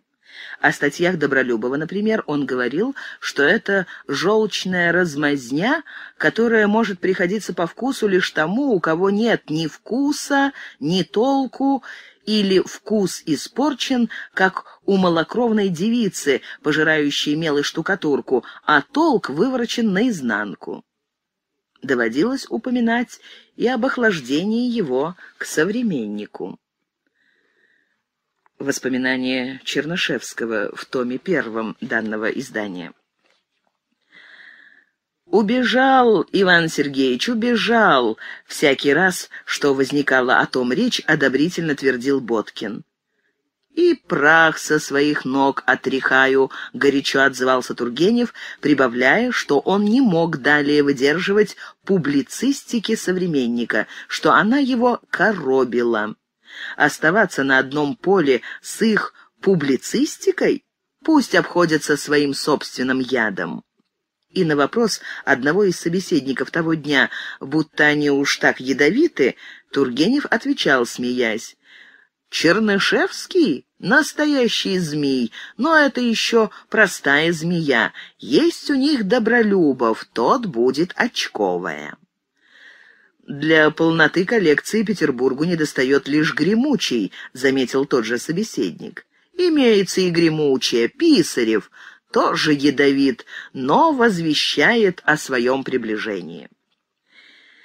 Несколько позже один из случайных посетителей рабочего кабинета Ивана Сергеевича, принадлежащий к тогдашнему молодому поколению, упрекнул Тургенева отсутствием направления в его повестях, тем, что он не проводит точно и строго определенных идей, подразумевая, разумеется, идеи, излюбленные шестидесятыми годами. Иван Сергеевич, дававший полную свободу высказываться своим знакомым-незнакомцам, как называл он не весь откуда являвшихся иногда гостей и обыкновенно выслушивавший их развязную болтовню с невозмутимым терпением, на этот раз как будто даже рассердился. «Художнику проводить идеи?» — твердо отвечал он, впервые употребляя слово «художник». Обыкновенно он говорил «литератор», «романист», «писатель», даже «билетрист», хоть этот последний термин уж и выходил из оборота. Да его дело образы, образное понимание и передача существующего, а не теории о будущем, не проповедь, не пропаганда. Когда ваше будущее станет настоящим, если ему суждено быть, в чем, позвольте усомниться, появятся и более или менее даровитые люди, которые тогда станут воплощать его пером, кистью, мрамором, чем только вашей душеньке будет угодно — если вам угодно будет допустить такое пошлое занятие, пока не в защите. Вы проповедник, ну и проповедуете себе на здоровье, а мы будем, с вашего одобрения или без оного, изображать. Знакомый незнакомец покинул Тургенева очень недовольный им, особенно исходом беседы. Этот посетитель с обычной в передовиках той эпохи авторитетностью, пространно и докучливо излагал свой идеал будущего, порядком-таки диковатый. Утомленный потоком слов, Иван Сергеевич прервал, наконец, оратора. «Все это очень хорошо, но скажите, вот все бывшее на Руси быльем поросло, народились новые люди» у этих все-таки людей будет сердце. У многих, вероятно, ум. У некоторых, быть может, больший или меньший литературный талант без направления, который вы станете, конечно, искоренять. У всех вы разовьете, напротив, прогрессивные стремления и всех осчастливите одинаковым благополучием. Но у всех ли вырастут хвосты, которые Фурье сулит усовершенствованному человечеству, или только у избранных? Тургенев далеко не прочь был пошутить. Коротких приятелей любил и подразнить. Боткина, например, за его гастрономические прихоти и гигиенические причуды. А сам ты не привередничаешь у Вефура и не оберегаешь своего драгоценного здоровья?» — отстреливался Василий Петрович. «Летом кутается в шарф, господа, от подагры обматывает горло». На одном из еженедельных обедов Иван Сергеевич внезапно объявил, что он написал новую большую повесть. «Вот вам и девять месяцев», — улыбаясь, кивнул он мне, «которая будет помещена в «Русском вестнике» и уже вручена редакции». Не хотите ли послушать? Слышать большую, неизданную повесть автора «Дворянского гнезда» в его собственном чтении. Свидание было назначено на какой-то день, но не у Тургенева, а у Боткина, чтобы никто не помешал. В назначенный день и час приглашенные Ханыков, Случевский, Скорятин и я явились к Василию Петровичу, квартировавшему неподалеку от Тургенева, на той же улице Дереволи, номер 186 или 226. Иван Сергеевич не только не забыл рандеву, но ждал уже нас, как будто несколько смущенный. Боится, боится публики. Вот посмотрим, посмотрим. Вот строгие ценители и судьи, подсмеивался Боткин, пожимая нам руки и ободрительно лаская взором своего друга. Уселись. Тотчас началось чтение. «Отцы и дети», — провозгласил заглавие повести автор. «Да, и дети», — с ударением повторил Василий Петрович, разумеется, уже знакомый с рукописью. Тургенев читал мастерски, без декламаторских приемов, задушевно. Боткин, погрузившись в мягкое кресло, склонив голову на грудь, сложив руки, по временам кряхтел от удовольствия или тихо смеялся, или умиленно поводил глазами, оттеняя взглядом то или другое место или выражение. Прочие сосредоточились внимательно неподвижные. Страница летела за страницей, и, переворачивая листы, Иван Сергеевич посматривал на слушателей, как бы ловя впечатление. Вдруг он захлопнул тетрадь. «Баста, на сегодня довольно». «Ну что?» «А там еще дуэль будет», — шутливо прибавил он, очевидно, чтобы сказать что-нибудь и поскорее рассеять то особенное, несколько жуткое ощущение, которое испытывает самый заведомо любимый автор, когда сам знакомит со своим новым произведением. Еще мгновение продолжалось молчание, прервал его Ханыков.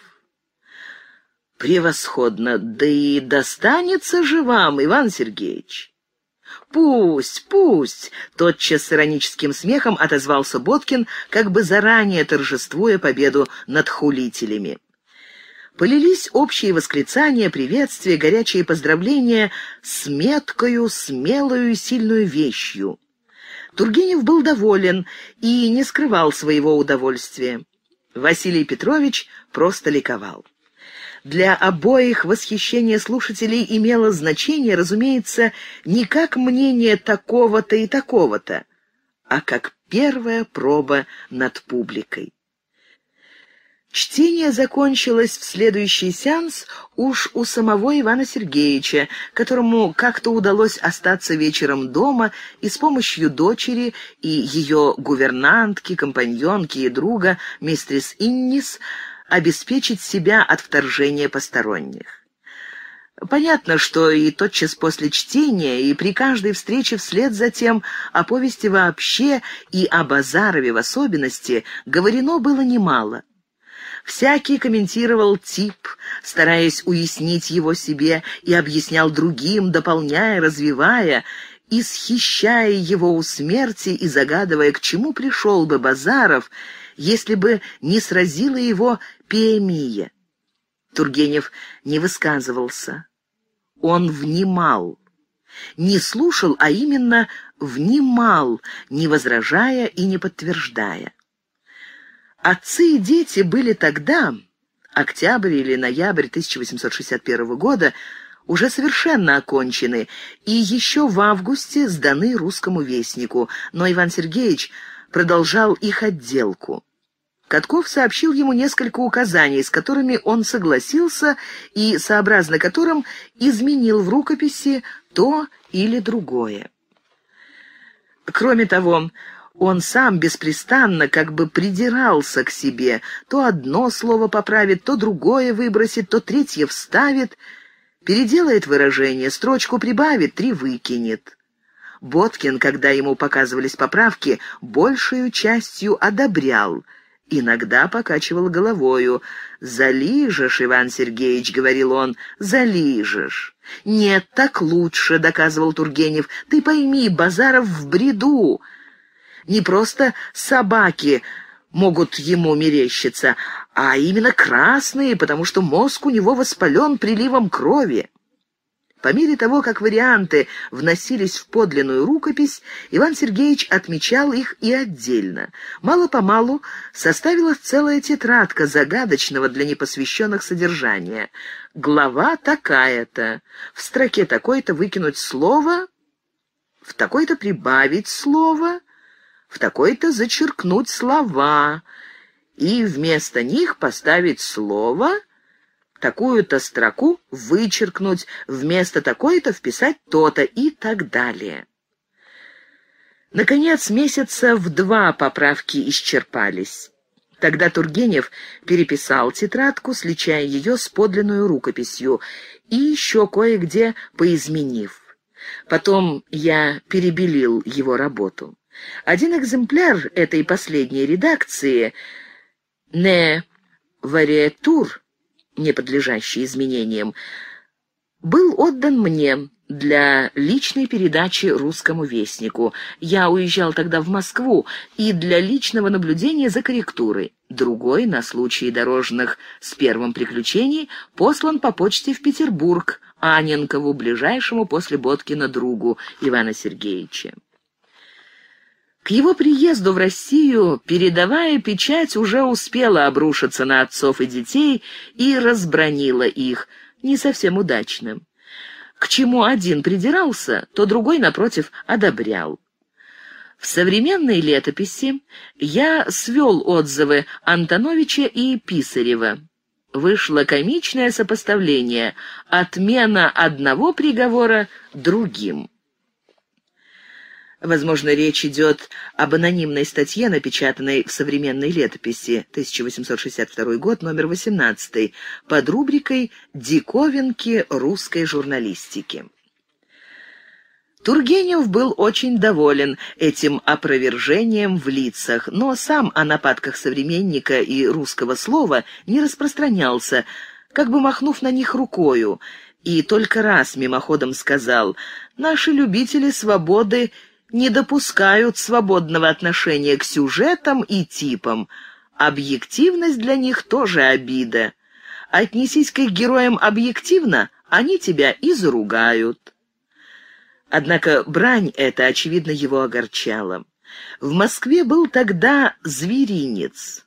В зверинце слон, у слона — карнак, ходивший за ним с его детства и потом почему-то оставивший своего питомца. Как-то этот карнак зашел в зверинец во время представления. Увидев его, слон вознегодовал, вышиб перегородку в стойле, выскочил и бросился на своего бывшего пестуна вовсе не с дружескими намерениями, обратив в бегство публику и выломав одну стену в балагане. На силу его укротили.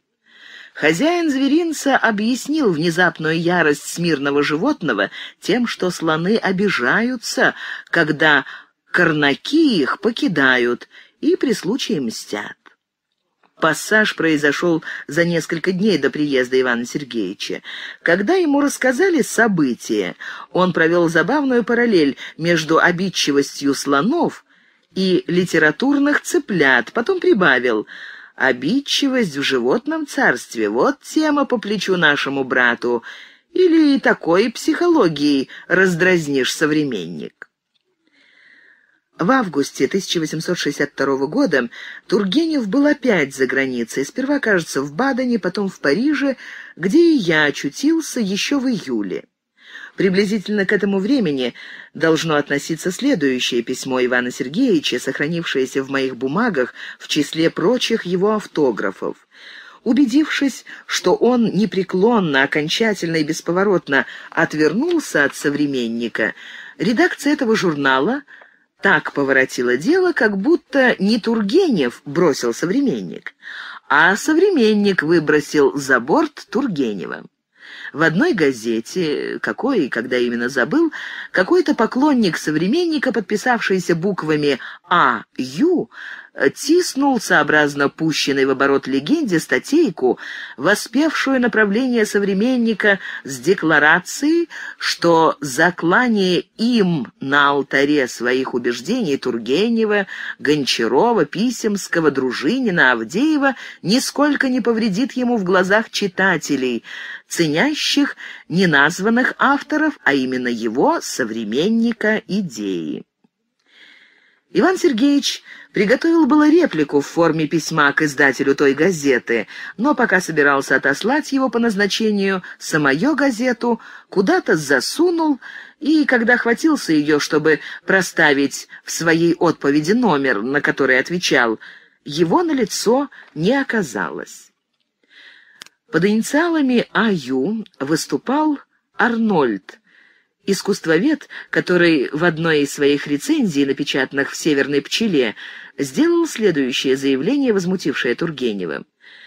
«Господин Некрасов жертвует лучшими талантами былого современника, господами Тургеневым, Дружининым, Писемским, Гончаровым и Авдеевым, и издает современник как орган наших обличительных и политико-экономических насущных потребностей» номер 316, 22 ноября 1862 года. Мемуарист не прав, утверждая, что письмо Тургенева к издателю «Северной пчелы» так и не увидело света. Оно было напечатано в номере 334 от 10 декабря при содействии Анненкова. Поискав его, поискав, между тем Перекипятившись и остыв, он махнул рукою, а подлинное свое письмо подарил мне на память о литературных нравах, отдавая его как литературный документ в мое распоряжение. Вновь поселился Тургенев в своем парижском кабинете с конца октября 1862 года.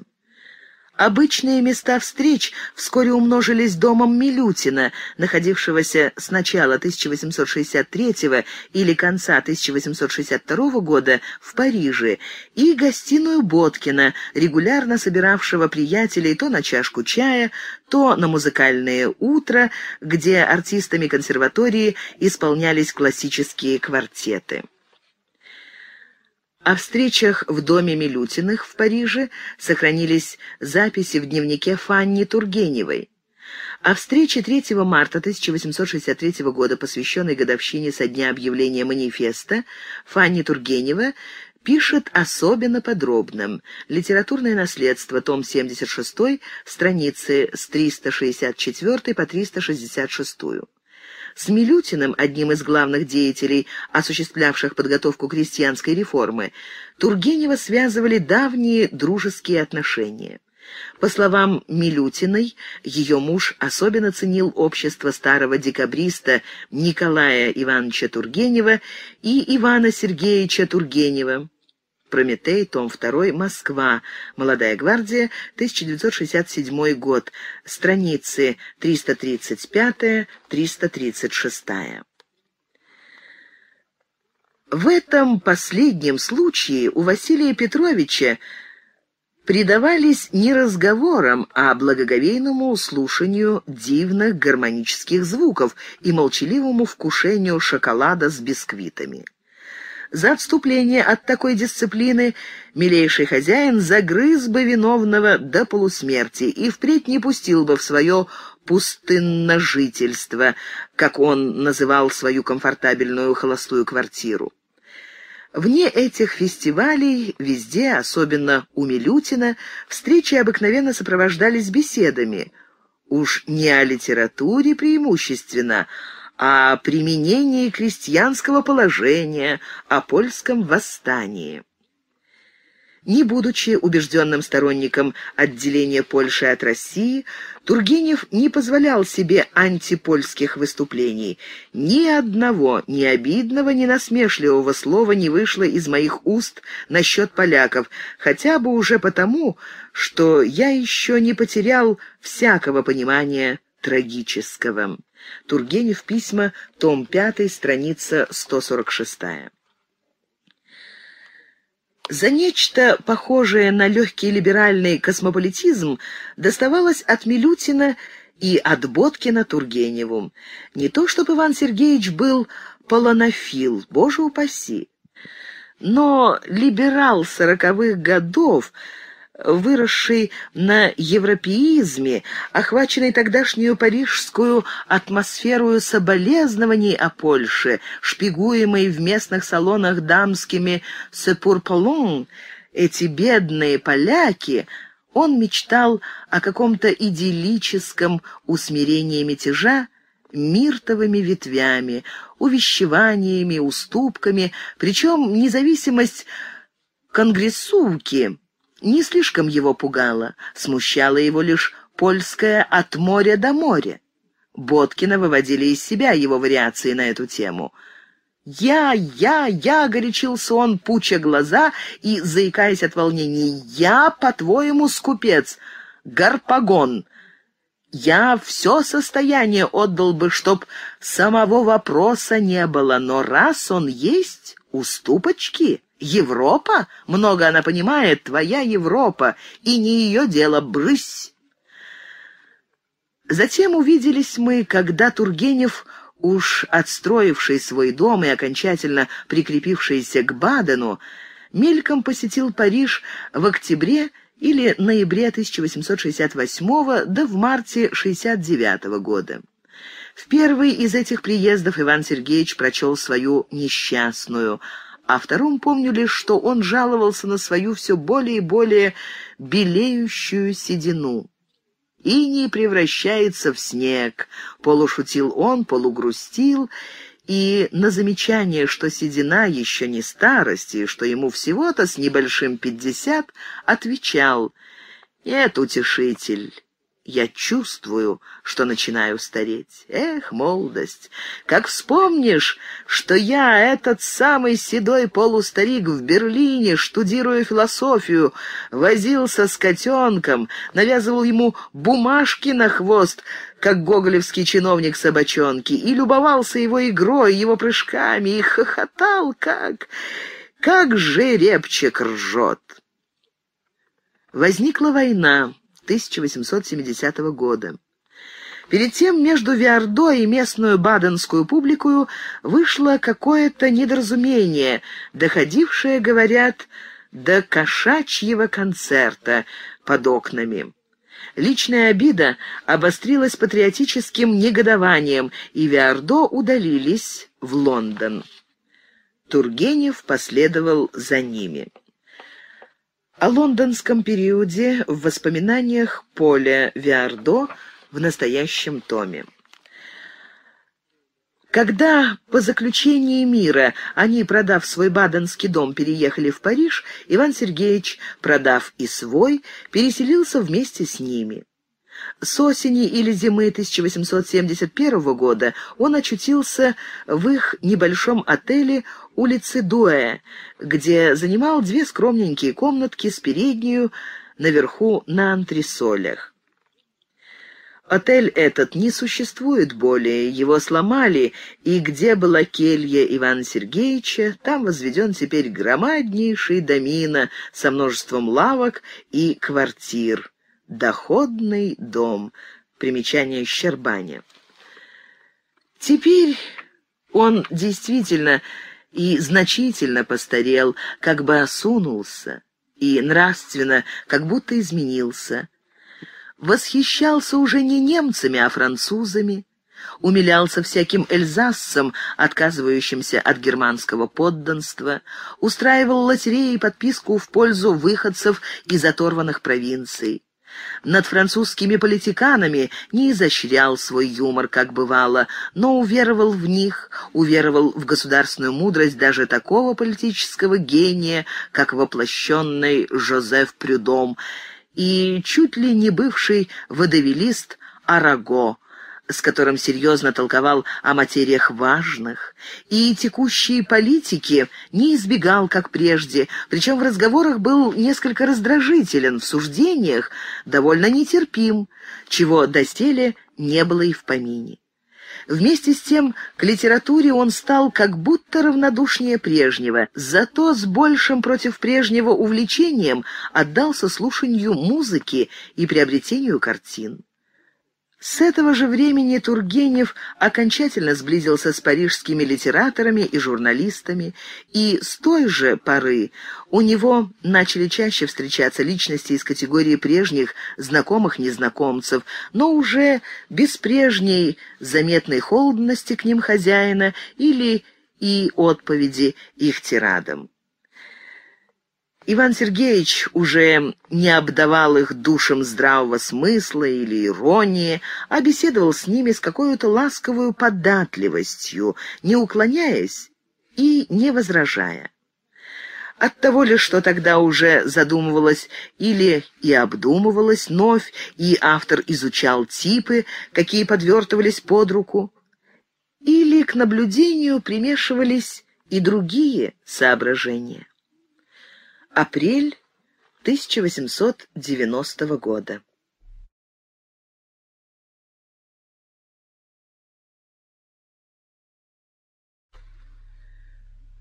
Встреча Тургенева с Лассалем. По воспоминаниям М.П. С-вой. Воспоминания М.П. С-вой о Тургеневе могли принадлежать, как считают некоторые исследователи творчества писателя, дочери декабриста Свистунова, Магдалине Петровне Свистуновой. Писательница и музыкантша, учившаяся у Листа, она, возможно, встречалась с Тургеневым в 60-е и 70-е годы за границей. Сохранилась одна записка Тургенева к Свистуновой, 1880 год.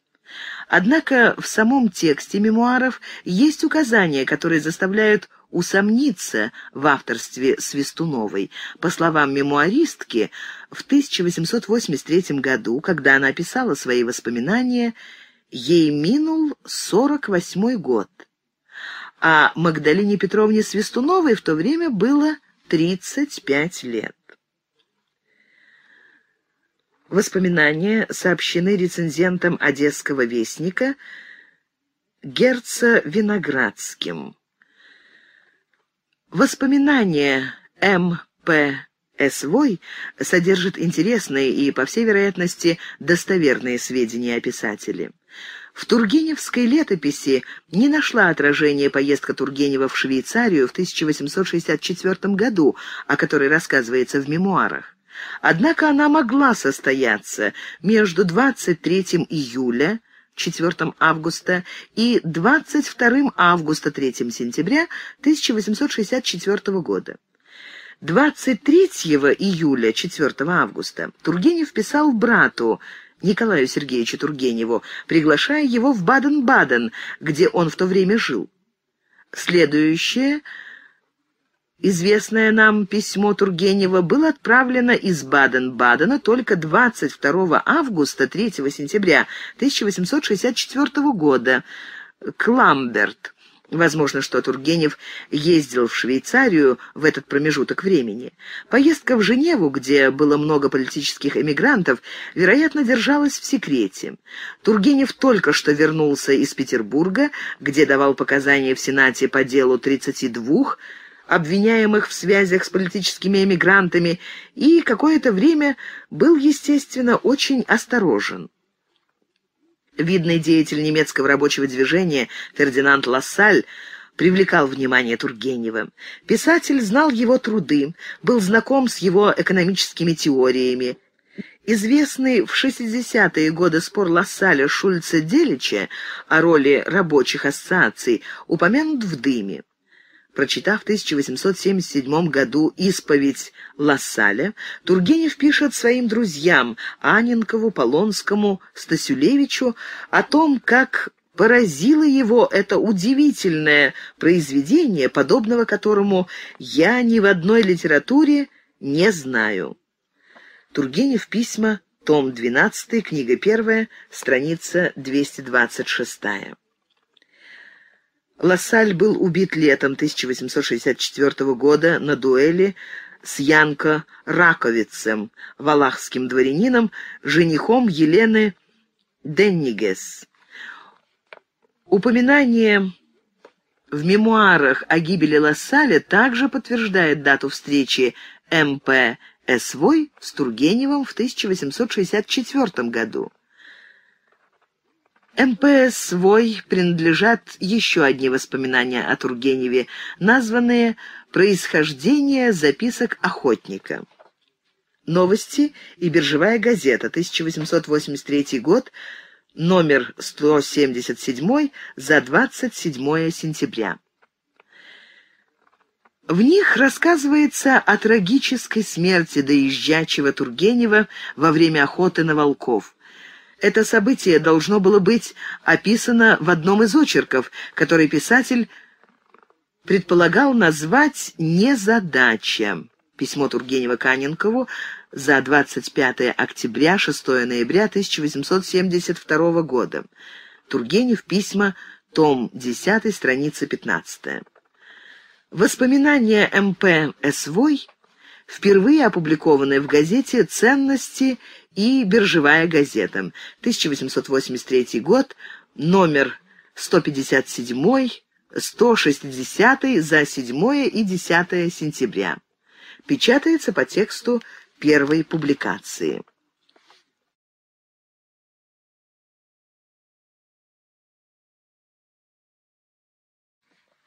Глава первая. Это происходило, если не ошибаюсь, в конце лета 1864 года.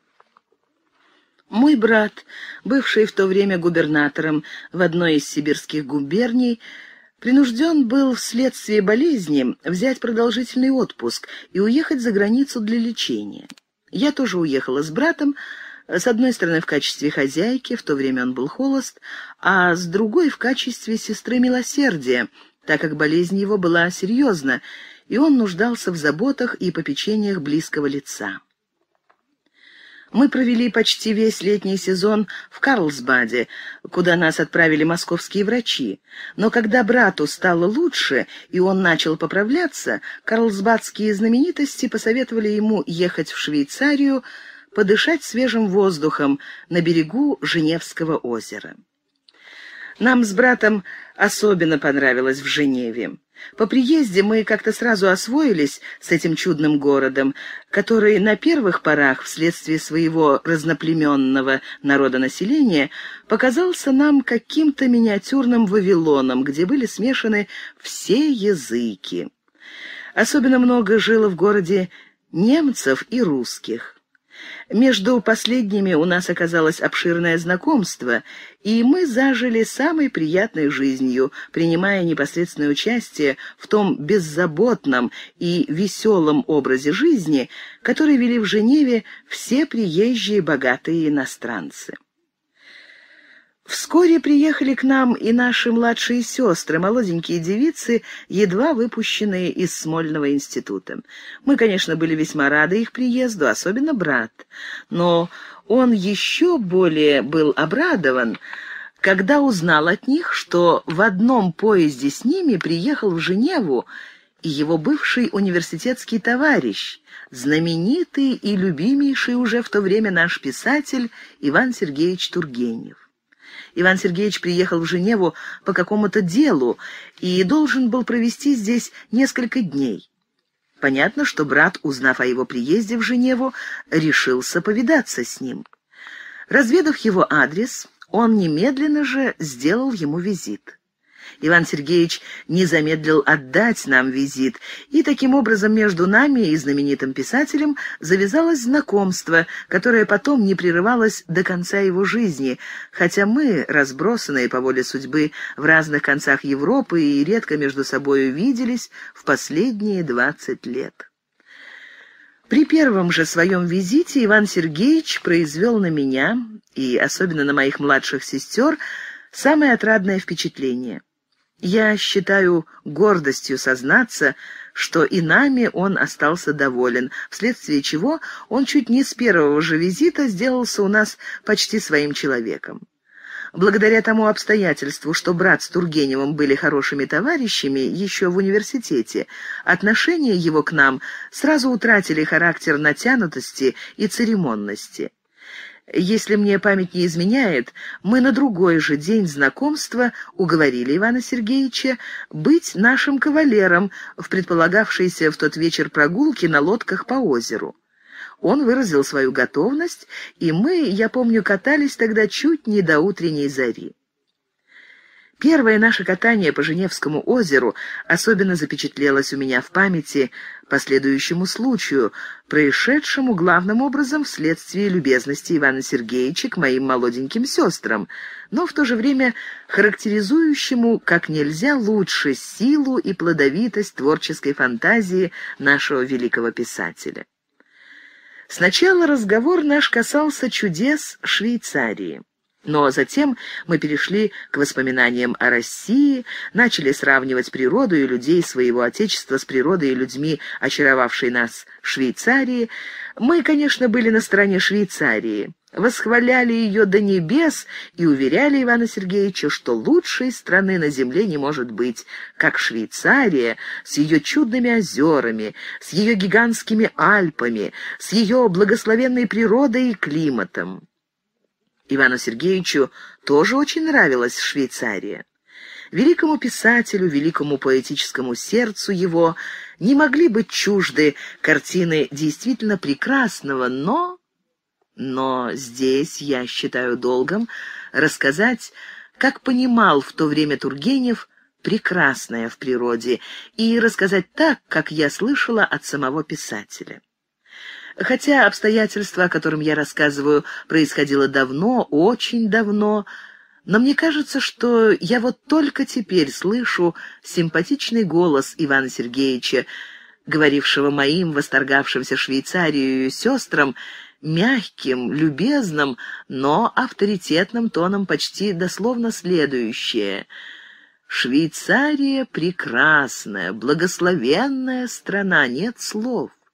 Но поверьте, барышни, на земле также прекрасны и все другие страны, все уголки, все горки и холмы, все рощицы, все реки и озера. Где только природа наложила свою властную руку и запечатлена ее творческая сила, там все прекрасно. Нехорошо только там, где человек искусственно, по невежеству, разрушает дивные создания природы. Сознание прекрасного находится в нас самих, и чем более мы любим природу и все ею созданное, тем более мы находим прекрасного везде на земле. Глубина чувства, глубина любви определяет степень и, если хотите, размеры прекрасного. Вы утверждаете, что Россия прекрасна менее Швейцарии. Полюбите ее. Полюбите всей душою, и для вас не будет ничего милее, как ваше Отечество. Уверяю вас, тундры нашего севера и африканская Сахара так же прекрасны, как и весь остальной мир. Полюбите только природу и людей. Заметьте, людей без всяких имущественных, сословных и расовых различий, и они, природа и люди, будут везде казаться для вас так же прекрасными, как и в Швейцарии, которая потому лишь кажется вам прекраснее нашего Отечества, что в ней, на сравнительно небольшом уголке, природа совместила часть того, что у нас щедрую рукою разбросано по необъятным пространствам России, Сибири, Финляндии, Кавказа и Крыма. Конечно, не только мои молоденькие сестры, но и я и мой брат, мы все тогда скептически относились к мыслям, высказанным Тургеневым, хотя впоследствии, много лет спустя, когда нам удалось узнать лучше Россию, нам все-таки пришлось убедиться в том, Какую правдою звучали слова нашего великого писателя, слова, которые он говорил нам на Женевском озере. После споров о Швейцарии и России, споров, конечно, облеченных в любезную веселую форму, мы, как это бывает часто, незаметно перешли к литературной деятельности нашего гостя. Мы все три сестры были глубокими поклонницами его художественных произведений. Особенно средняя сестра Надя просто бредила некоторыми героями его повестей и находила, что лучшего писателя, как Иван Сергеевич Тургенев, у нас не может быть. Нужно сказать, что она была девушка пытливая, любознательная, и ее крайне занимал самый процесс литературного творчества, который ей казался всегда каким-то священнодействием, полным таинственности. Потому она была особенно обрадована знакомству с любимым писателем, так как, ставши с ним лицом к лицу, она теперь имела полную возможность приподнять таинственную завесу, удовлетворить своему любопытству относительно процесса литературного творчества. Когда зашла речь о произведениях Ивана Сергеевича, Надя не выдержала и обратилась к нему с просьбой объяснить ей – как это он пишет такие удивительные рассказы и романы? «А вас это очень интересует?» — с улыбкой спросил Тургенев. «Ах, вы не можете себе представить, Иван Сергеевич», — ответила Надя, — «каким я сгораю любопытством. Читая произведения ваши и других писателей, я напрягала все усилия, чтобы постигнуть самый умственный процесс литературного творчества, но пока тщетно. Вот я даже сама могу написать складно, например, письмо или что-нибудь деловое, строго прозаическое. Но все мои попытки создать образы и картины решительно ни к чему меня не приводили, и потому создание какого-нибудь билетристического произведения всегда казалось для меня, как бы это удобнее выразиться, чем-то фантастическим, недоступным для способности обыкновенного смертного. А мне, напротив, кажется, что создавать билетристические произведения вовсе не так трудно. Вмешалась Вера. И я непременно бы сделалась литератором, если бы у меня был писательский навык и литературный слог. «За малым остановка», — засмеялся брат. «Действительно», — ответил Иван Сергеевич, — «одинаково трудно быть билетристом и не имея творческой фантазии, и не владея в надлежащей степени литературным языком. Но желаете, мадам, я вас наглядно познакомлю с тем таинственным писательским творчеством, которое так вас интересует. «Ах, сделайте одолжение, Иван Сергеевич!» — закричали Вера и Надя почти в один голос. «Извольте», — сказал Иван Сергеевич но с тем условием, что вы будете снисходительны ко мне, если продукт моего сочинительства, которое я сейчас покажу вам, окажется не таким художественным, каким вы желали бы его видеть и слышать. Затем Тургенев начал быстро импровизировать нам целую повесть. Правда, он говорил сжато, почти лаконически — но язык его импровизации был бесподобен. Действующие лица воскресали перед нами точно живые, так пластична была их характеристика. Что же касается описаний природы, то они были полны глубокого чувства и поэтической прелести. Относительно содержания импровизированной повести я должна сказать, что в основании ее лег эпизод знакомства его с нами. Так как при жизни Тургенев имел намерение, почему-то, впрочем, неосуществленное, разработать свою импровизацию в большую повесть для печати, то мы считали своим нравственным долгом никому не сообщать ее содержание.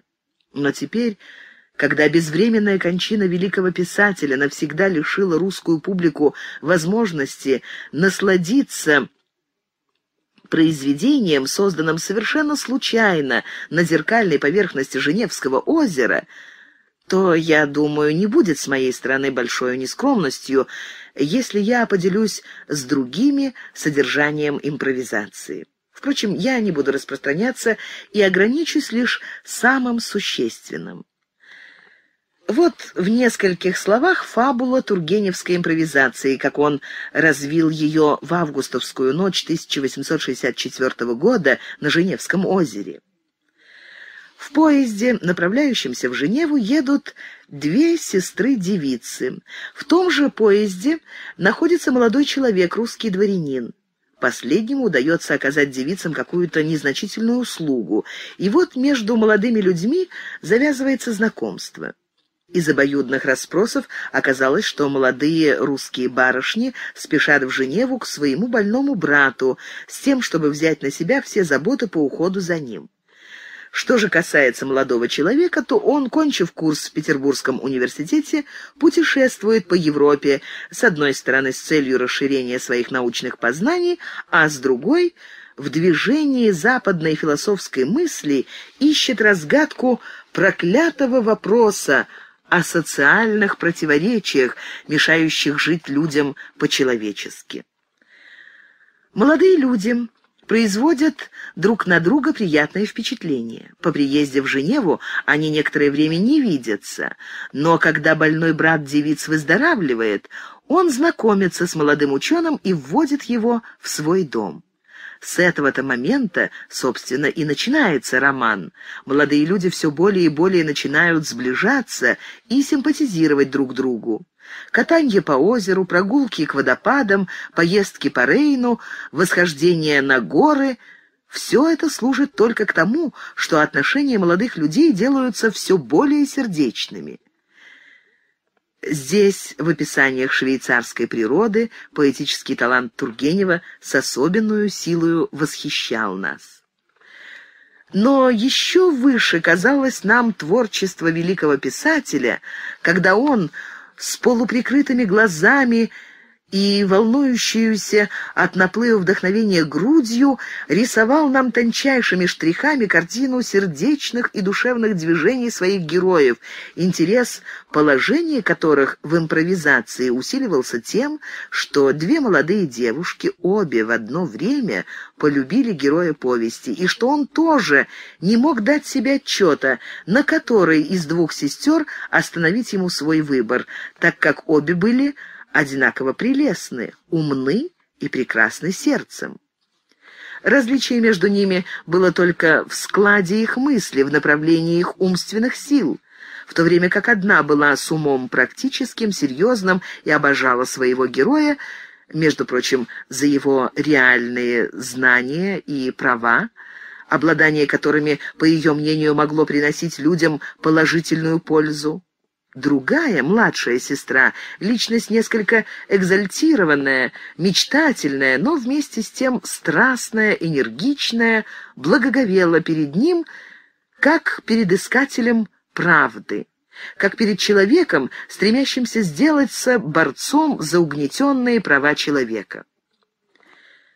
Ввиду таких противоречий герой импровизации положительно очутился между молотом и наковальнею. Как он не старался рассечь Гордиев узел, как не старался выйти из заколдованного круга любви к обеим сестрам, из которых каждая одинаково его любила, но драматизм его положения с течением времени все более усиливался, так как, не давая ни одной из них категорического ответа, он томил в неизвестности себя и их, и заставлял одинаково как себя, так и их переносить танталовы муки неудовлетворенной любви.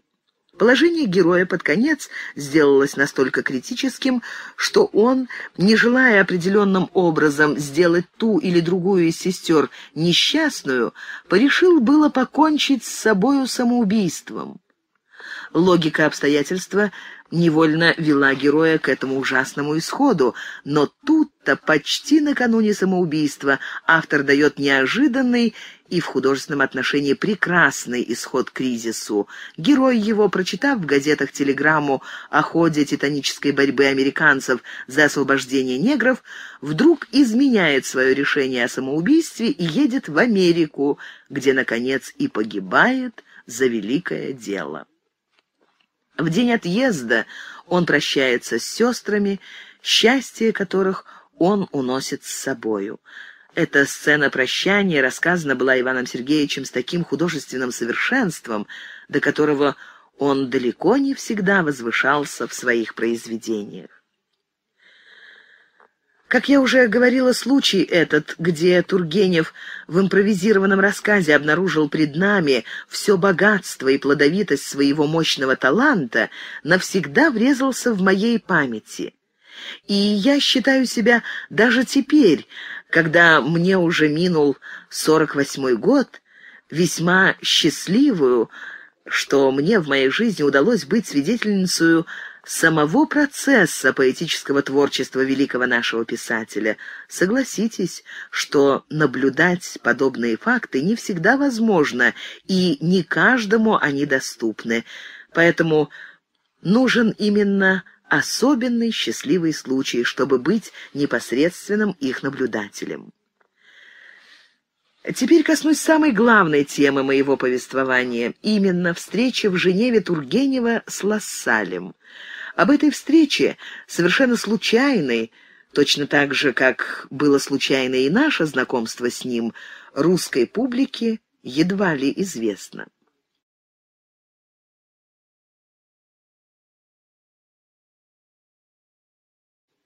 Глава вторая.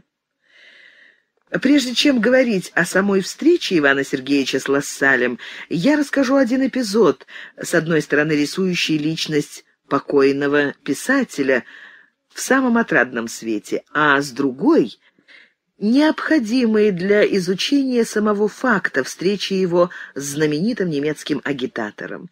Мне кажется, что это было на пятый или на шестой день после нашего знакомства с Тургеневым. В пансион Лёве весьма часто приходил один русский эмигрант, Н. Был он некогда очень состоятельным человеком, но вследствие иммиграции потерял свое состояние и существовал в Женеве лишь уроками, нужно сказать, скудно оплачиваемыми. Являлся он в пансион для свидания с своими русскими знакомыми, вследствие чего последние часто приглашали его к обеду за Табльдот, где обыкновенно собирались живущие в пансионе, за исключением, впрочем, нашего семейства, так как для нас, в большинстве случаев, по желанию брата, готовили стол отдельно. Впрочем, иногда и мы обедали за Табльдотом. Табльдот помещался в обширной стеклянной галерее, примыкавшей к главному корпусу пансиона и выходившей в сад. Галерея эта летом была обыкновенно увита плющом и уставлена растениями. В тот раз, о котором я говорю, мы все обедали за Табльдотом. С нами обедал и Тургенев. Едва все стали садиться за стол, как в дверях показался и Н. И, остановившись при входе, начал разыскивать в толпе глазами кого-то из своих знакомых. Но, убедившись, что того, кого он искал, еще в галерее нет, что ему подтвердила прислуга, он опять скрылся обратно, причем издали слегка кивнул головою Тургеневу, так как они были несколько знакомы. Почти в тот самый момент, когда Н скрылся за дверью, один из двух молодых немцев каких-то померанских юнкеров, усевшихся по другую сторону стола, несколько наискось от Тургенева, обратился к своему соседу с следующей насмешкой, громко произнесенную на немецком языке. «Мне кажется, что этот русский эмигрант вечно голоден, так же, как и его отечество, из которого он бежал, и которое постоянно высматривает и выискивает, кого бы из своих доверчивых и простодушных соседей объесть и проглотить. Сенсация вышла общую. Многие просто рты разинули от изумления, услышав пошлую выходку немецкого юнкера. Брат мой даже побагровел от внутреннего негодования. Один только Тургенев остался по внешности спокоен, и лишь дрожание побледневших губ выдавало его волнение. Громко и внятно он обратился к Нахалу, так что каждое слово было слышно во всех уголках галереи.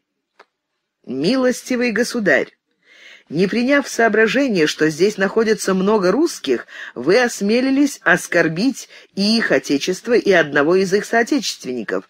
Россия так могуча, что она презирает всех нахалов, как бы они ни назывались, и не нуждается, чтобы ее защищали от них».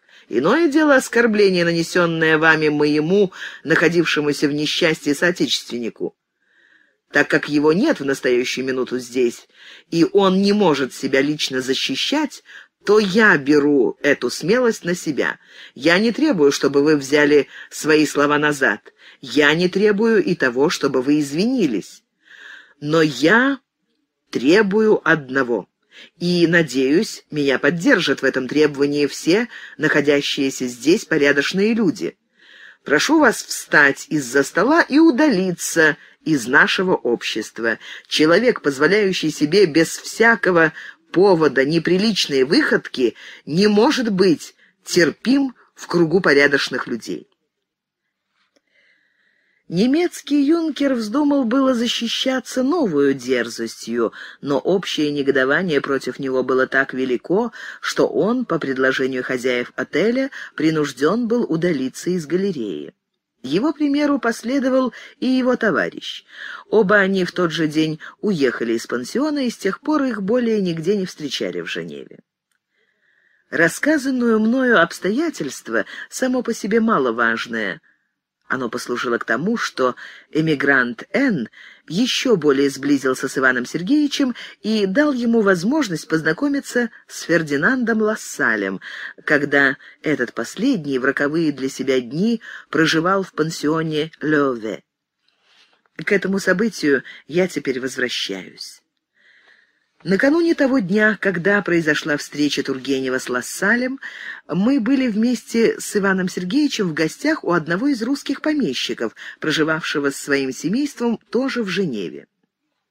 Возвратившись из гостей в отель около трех часов ночи, мы немедленно разошлись по своим комнатам спать, так как нам предстояло встать на другой день не позже девяти часов утра.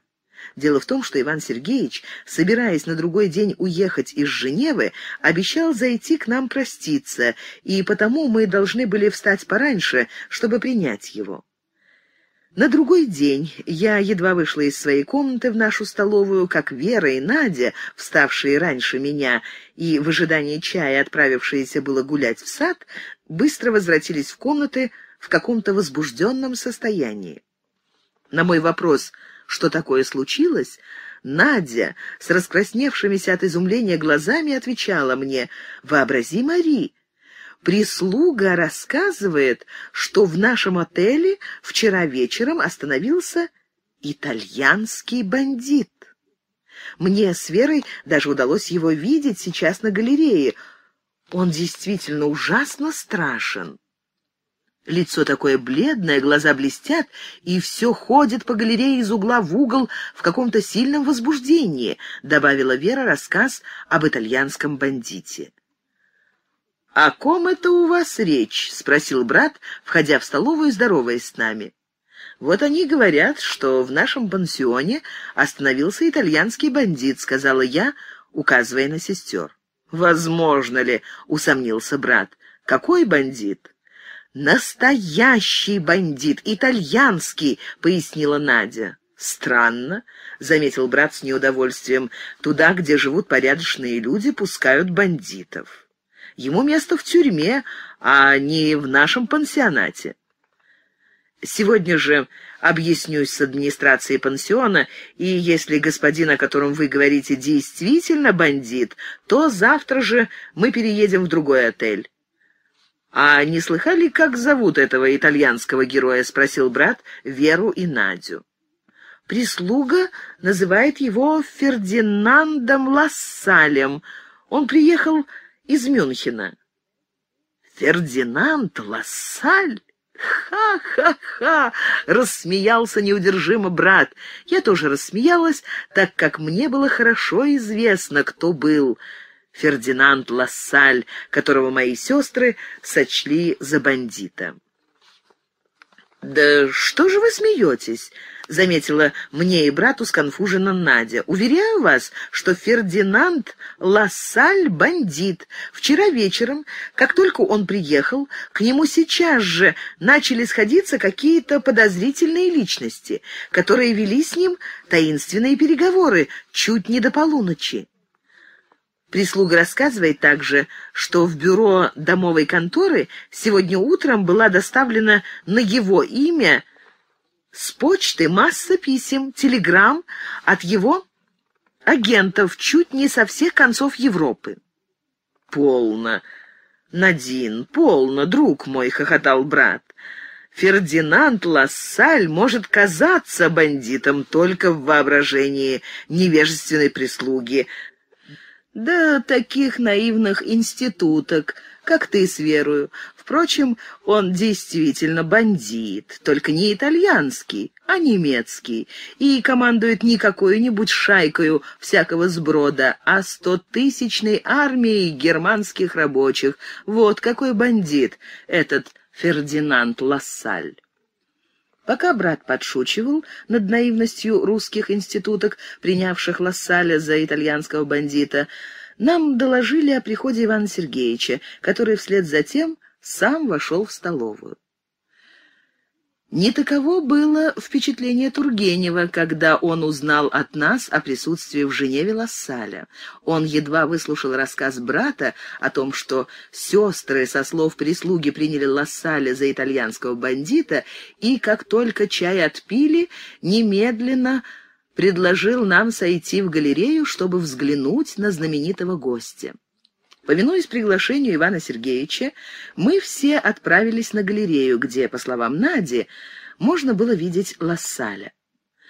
Сойдя в галерею, мы застали там, за табльдотом, уже порядочное общество, собравшееся к утреннему чаю и кофе. Наши глаза невольно искали в толпе знаменитого экономиста. Впрочем, его нетрудно было найти, так как на нем было сосредоточено любопытство почти всех присутствовавших. Сверх своей знаменитости как политического деятеля, он в то время был еще героем той трагикомедии, которая называлась «Его любовью к мадемуазель Денигес», впоследствии «Мадам Раковиц». И потому неудивительно, что им все интересовались, и что на нем сосредоточивалось общее внимание везде, где только он не появлялся. Я никогда не забуду того момента, когда я в первый раз увидела Лассаля, о котором столько читала и слышала, живя с братом в Карлсбаде и Женеве. При входе нашем в галерею он стоял у растворенного окна и вел разговор с двумя мужчинами, из которых один был наш эмигрант, Н. Руки его были покойно сложены, Взор его блуждал медленно в толпе, на которую он смотрел несколько надменно и с привычной самоуверенностью, и только нервное легкое вздрагивание бровей обнаруживало, что его озабочивает какая-то серьезная мысль, и что он ведет разговор с собеседниками не без внутреннего возбуждения. Позе его, в которой он стоял, позавидовал бы каждый король, так она была проста, безыскусственна и вместе с тем даже величественна. Я никогда ни до того времени не видела его, и потому при первой встрече он показался мне далеко не красивым мужчиной, даже ниже своих фотографических изображений.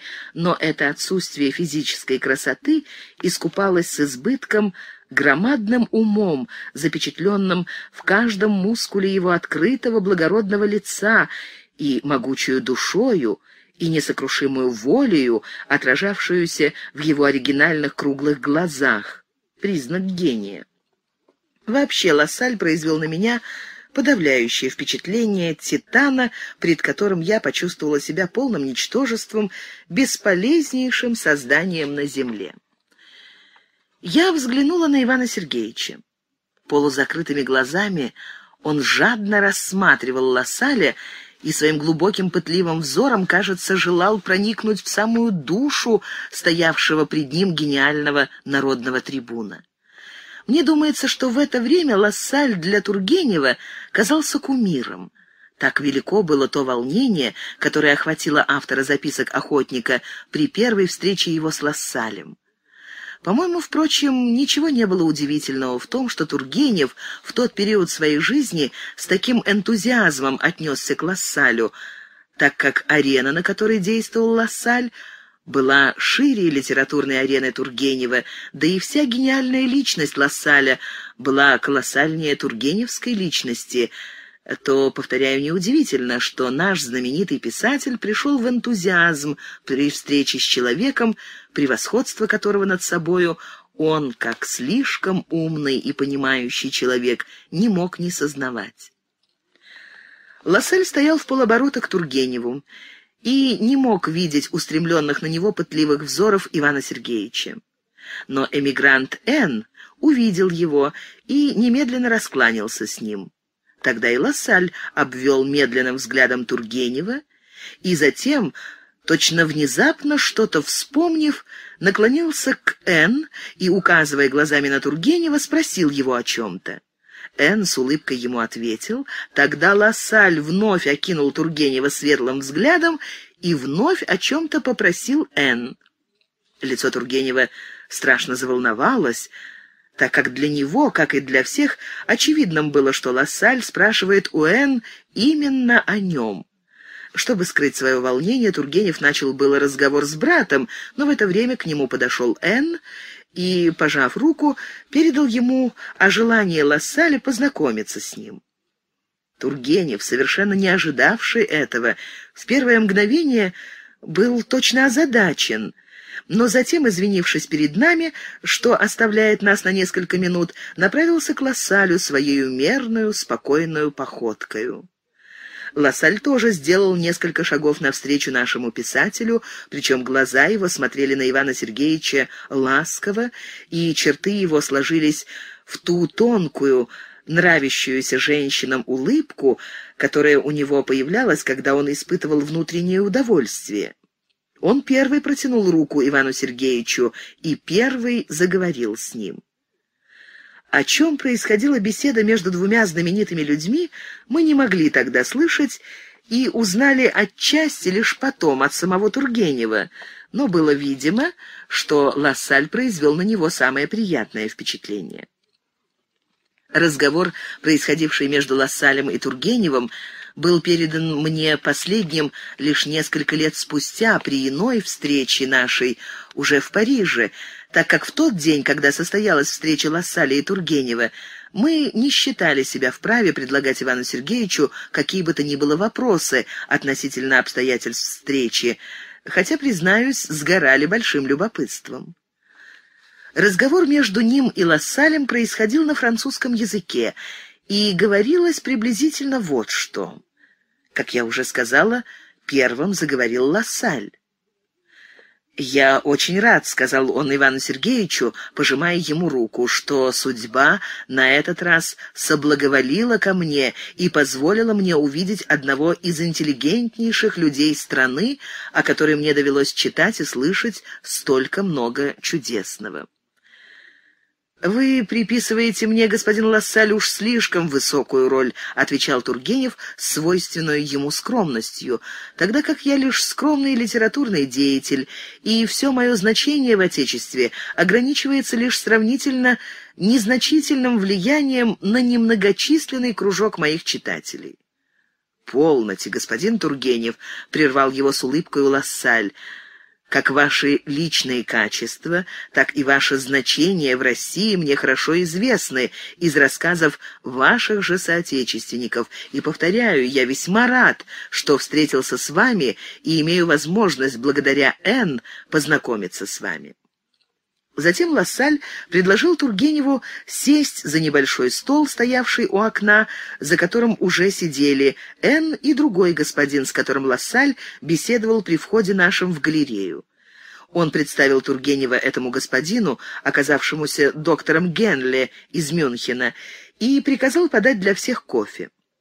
Во время кофе беседа Лассаля с Тургеневым продолжалась с видимым оживлением, причем Тургенев старался держать себя спокойно, тогда как Лассаль, видимо, чем-то был озабочен и изредка поглядывал на входную дверь в галерею. Беседа их продолжалась не более семи-десяти минут, как вошел поспешно Кельнер и, разыскав доктора Генли, подал ему запечатанный пакет. Тот быстро вскрыл его и шепнул что-то Лассалю. При этих словах Лассаль точно получил какой-нибудь сильный толчок. На секунду молния негодования озарила его лицо. Затем он, видимо, побледнел и, вставший из-за стола, начал извиняться перед Тургеневым, что его ждет неотложное дело, и ему нужно удалиться в свою комнату. Тургенев с грустью горячо пожал протянутую ему руку Лассаля, и когда тот, поклонившись, с приветливой улыбкой скрылся из галереи, он несколько секунд смотрел вслед удалявшемуся трибуну, и на глазах его блистали слезы. Он молча распростился с эмигрантом Н и доктором Гендле, которые тоже сейчас удалились вслед за Лассалем, и затем возвратился к нам. Когда он подошел к нам, то был так взволнован, что не мог даже говорить, и на замечание брата, что Лассаль по внешности действительно кажется живым человеком, он лаконически ответил «Да, Лассаль — гениальный человек». Вслед за тем мы все ушли из галереи в наши комнаты, и через несколько минут Иван Сергеевич распрощался с нами. Видя его волнение, произведенное, конечно, неожиданную встречу с Лассалем и беседуя с ним, мы не старались его удерживать и пожелали ему на прощание всех благ. Иван Сергеевич уехал из Женевы в тот же день, и мы свиделись с ним в другой раз, лишь несколько лет спустя в Париже.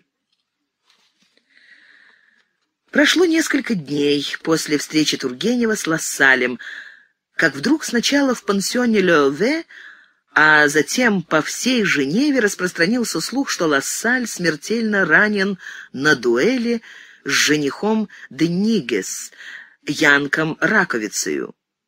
Сначала никто из нас не хотел верить ужасной судьбе Лассаля, которого мы почти каждый день встречали, но потом, дня через два-три, нам пришлось быть очевидцами грандиозной похоронной процессии, устроенной республиканцами знаменитому вождю германских рабочих. В самый день процессии эмигрант Н. получил от Ивана Сергеевича по переводу сто франков с лаконическую просьбу возложить на гроб Лассаля венок от неизвестного почитателя. За последние двадцать лет мне приходилось несколько раз встречаться с Тургеневым, но он никогда, без сильного волнения, не мог вспомнить имени Лассаля и единственной встречи с ним в Женеве.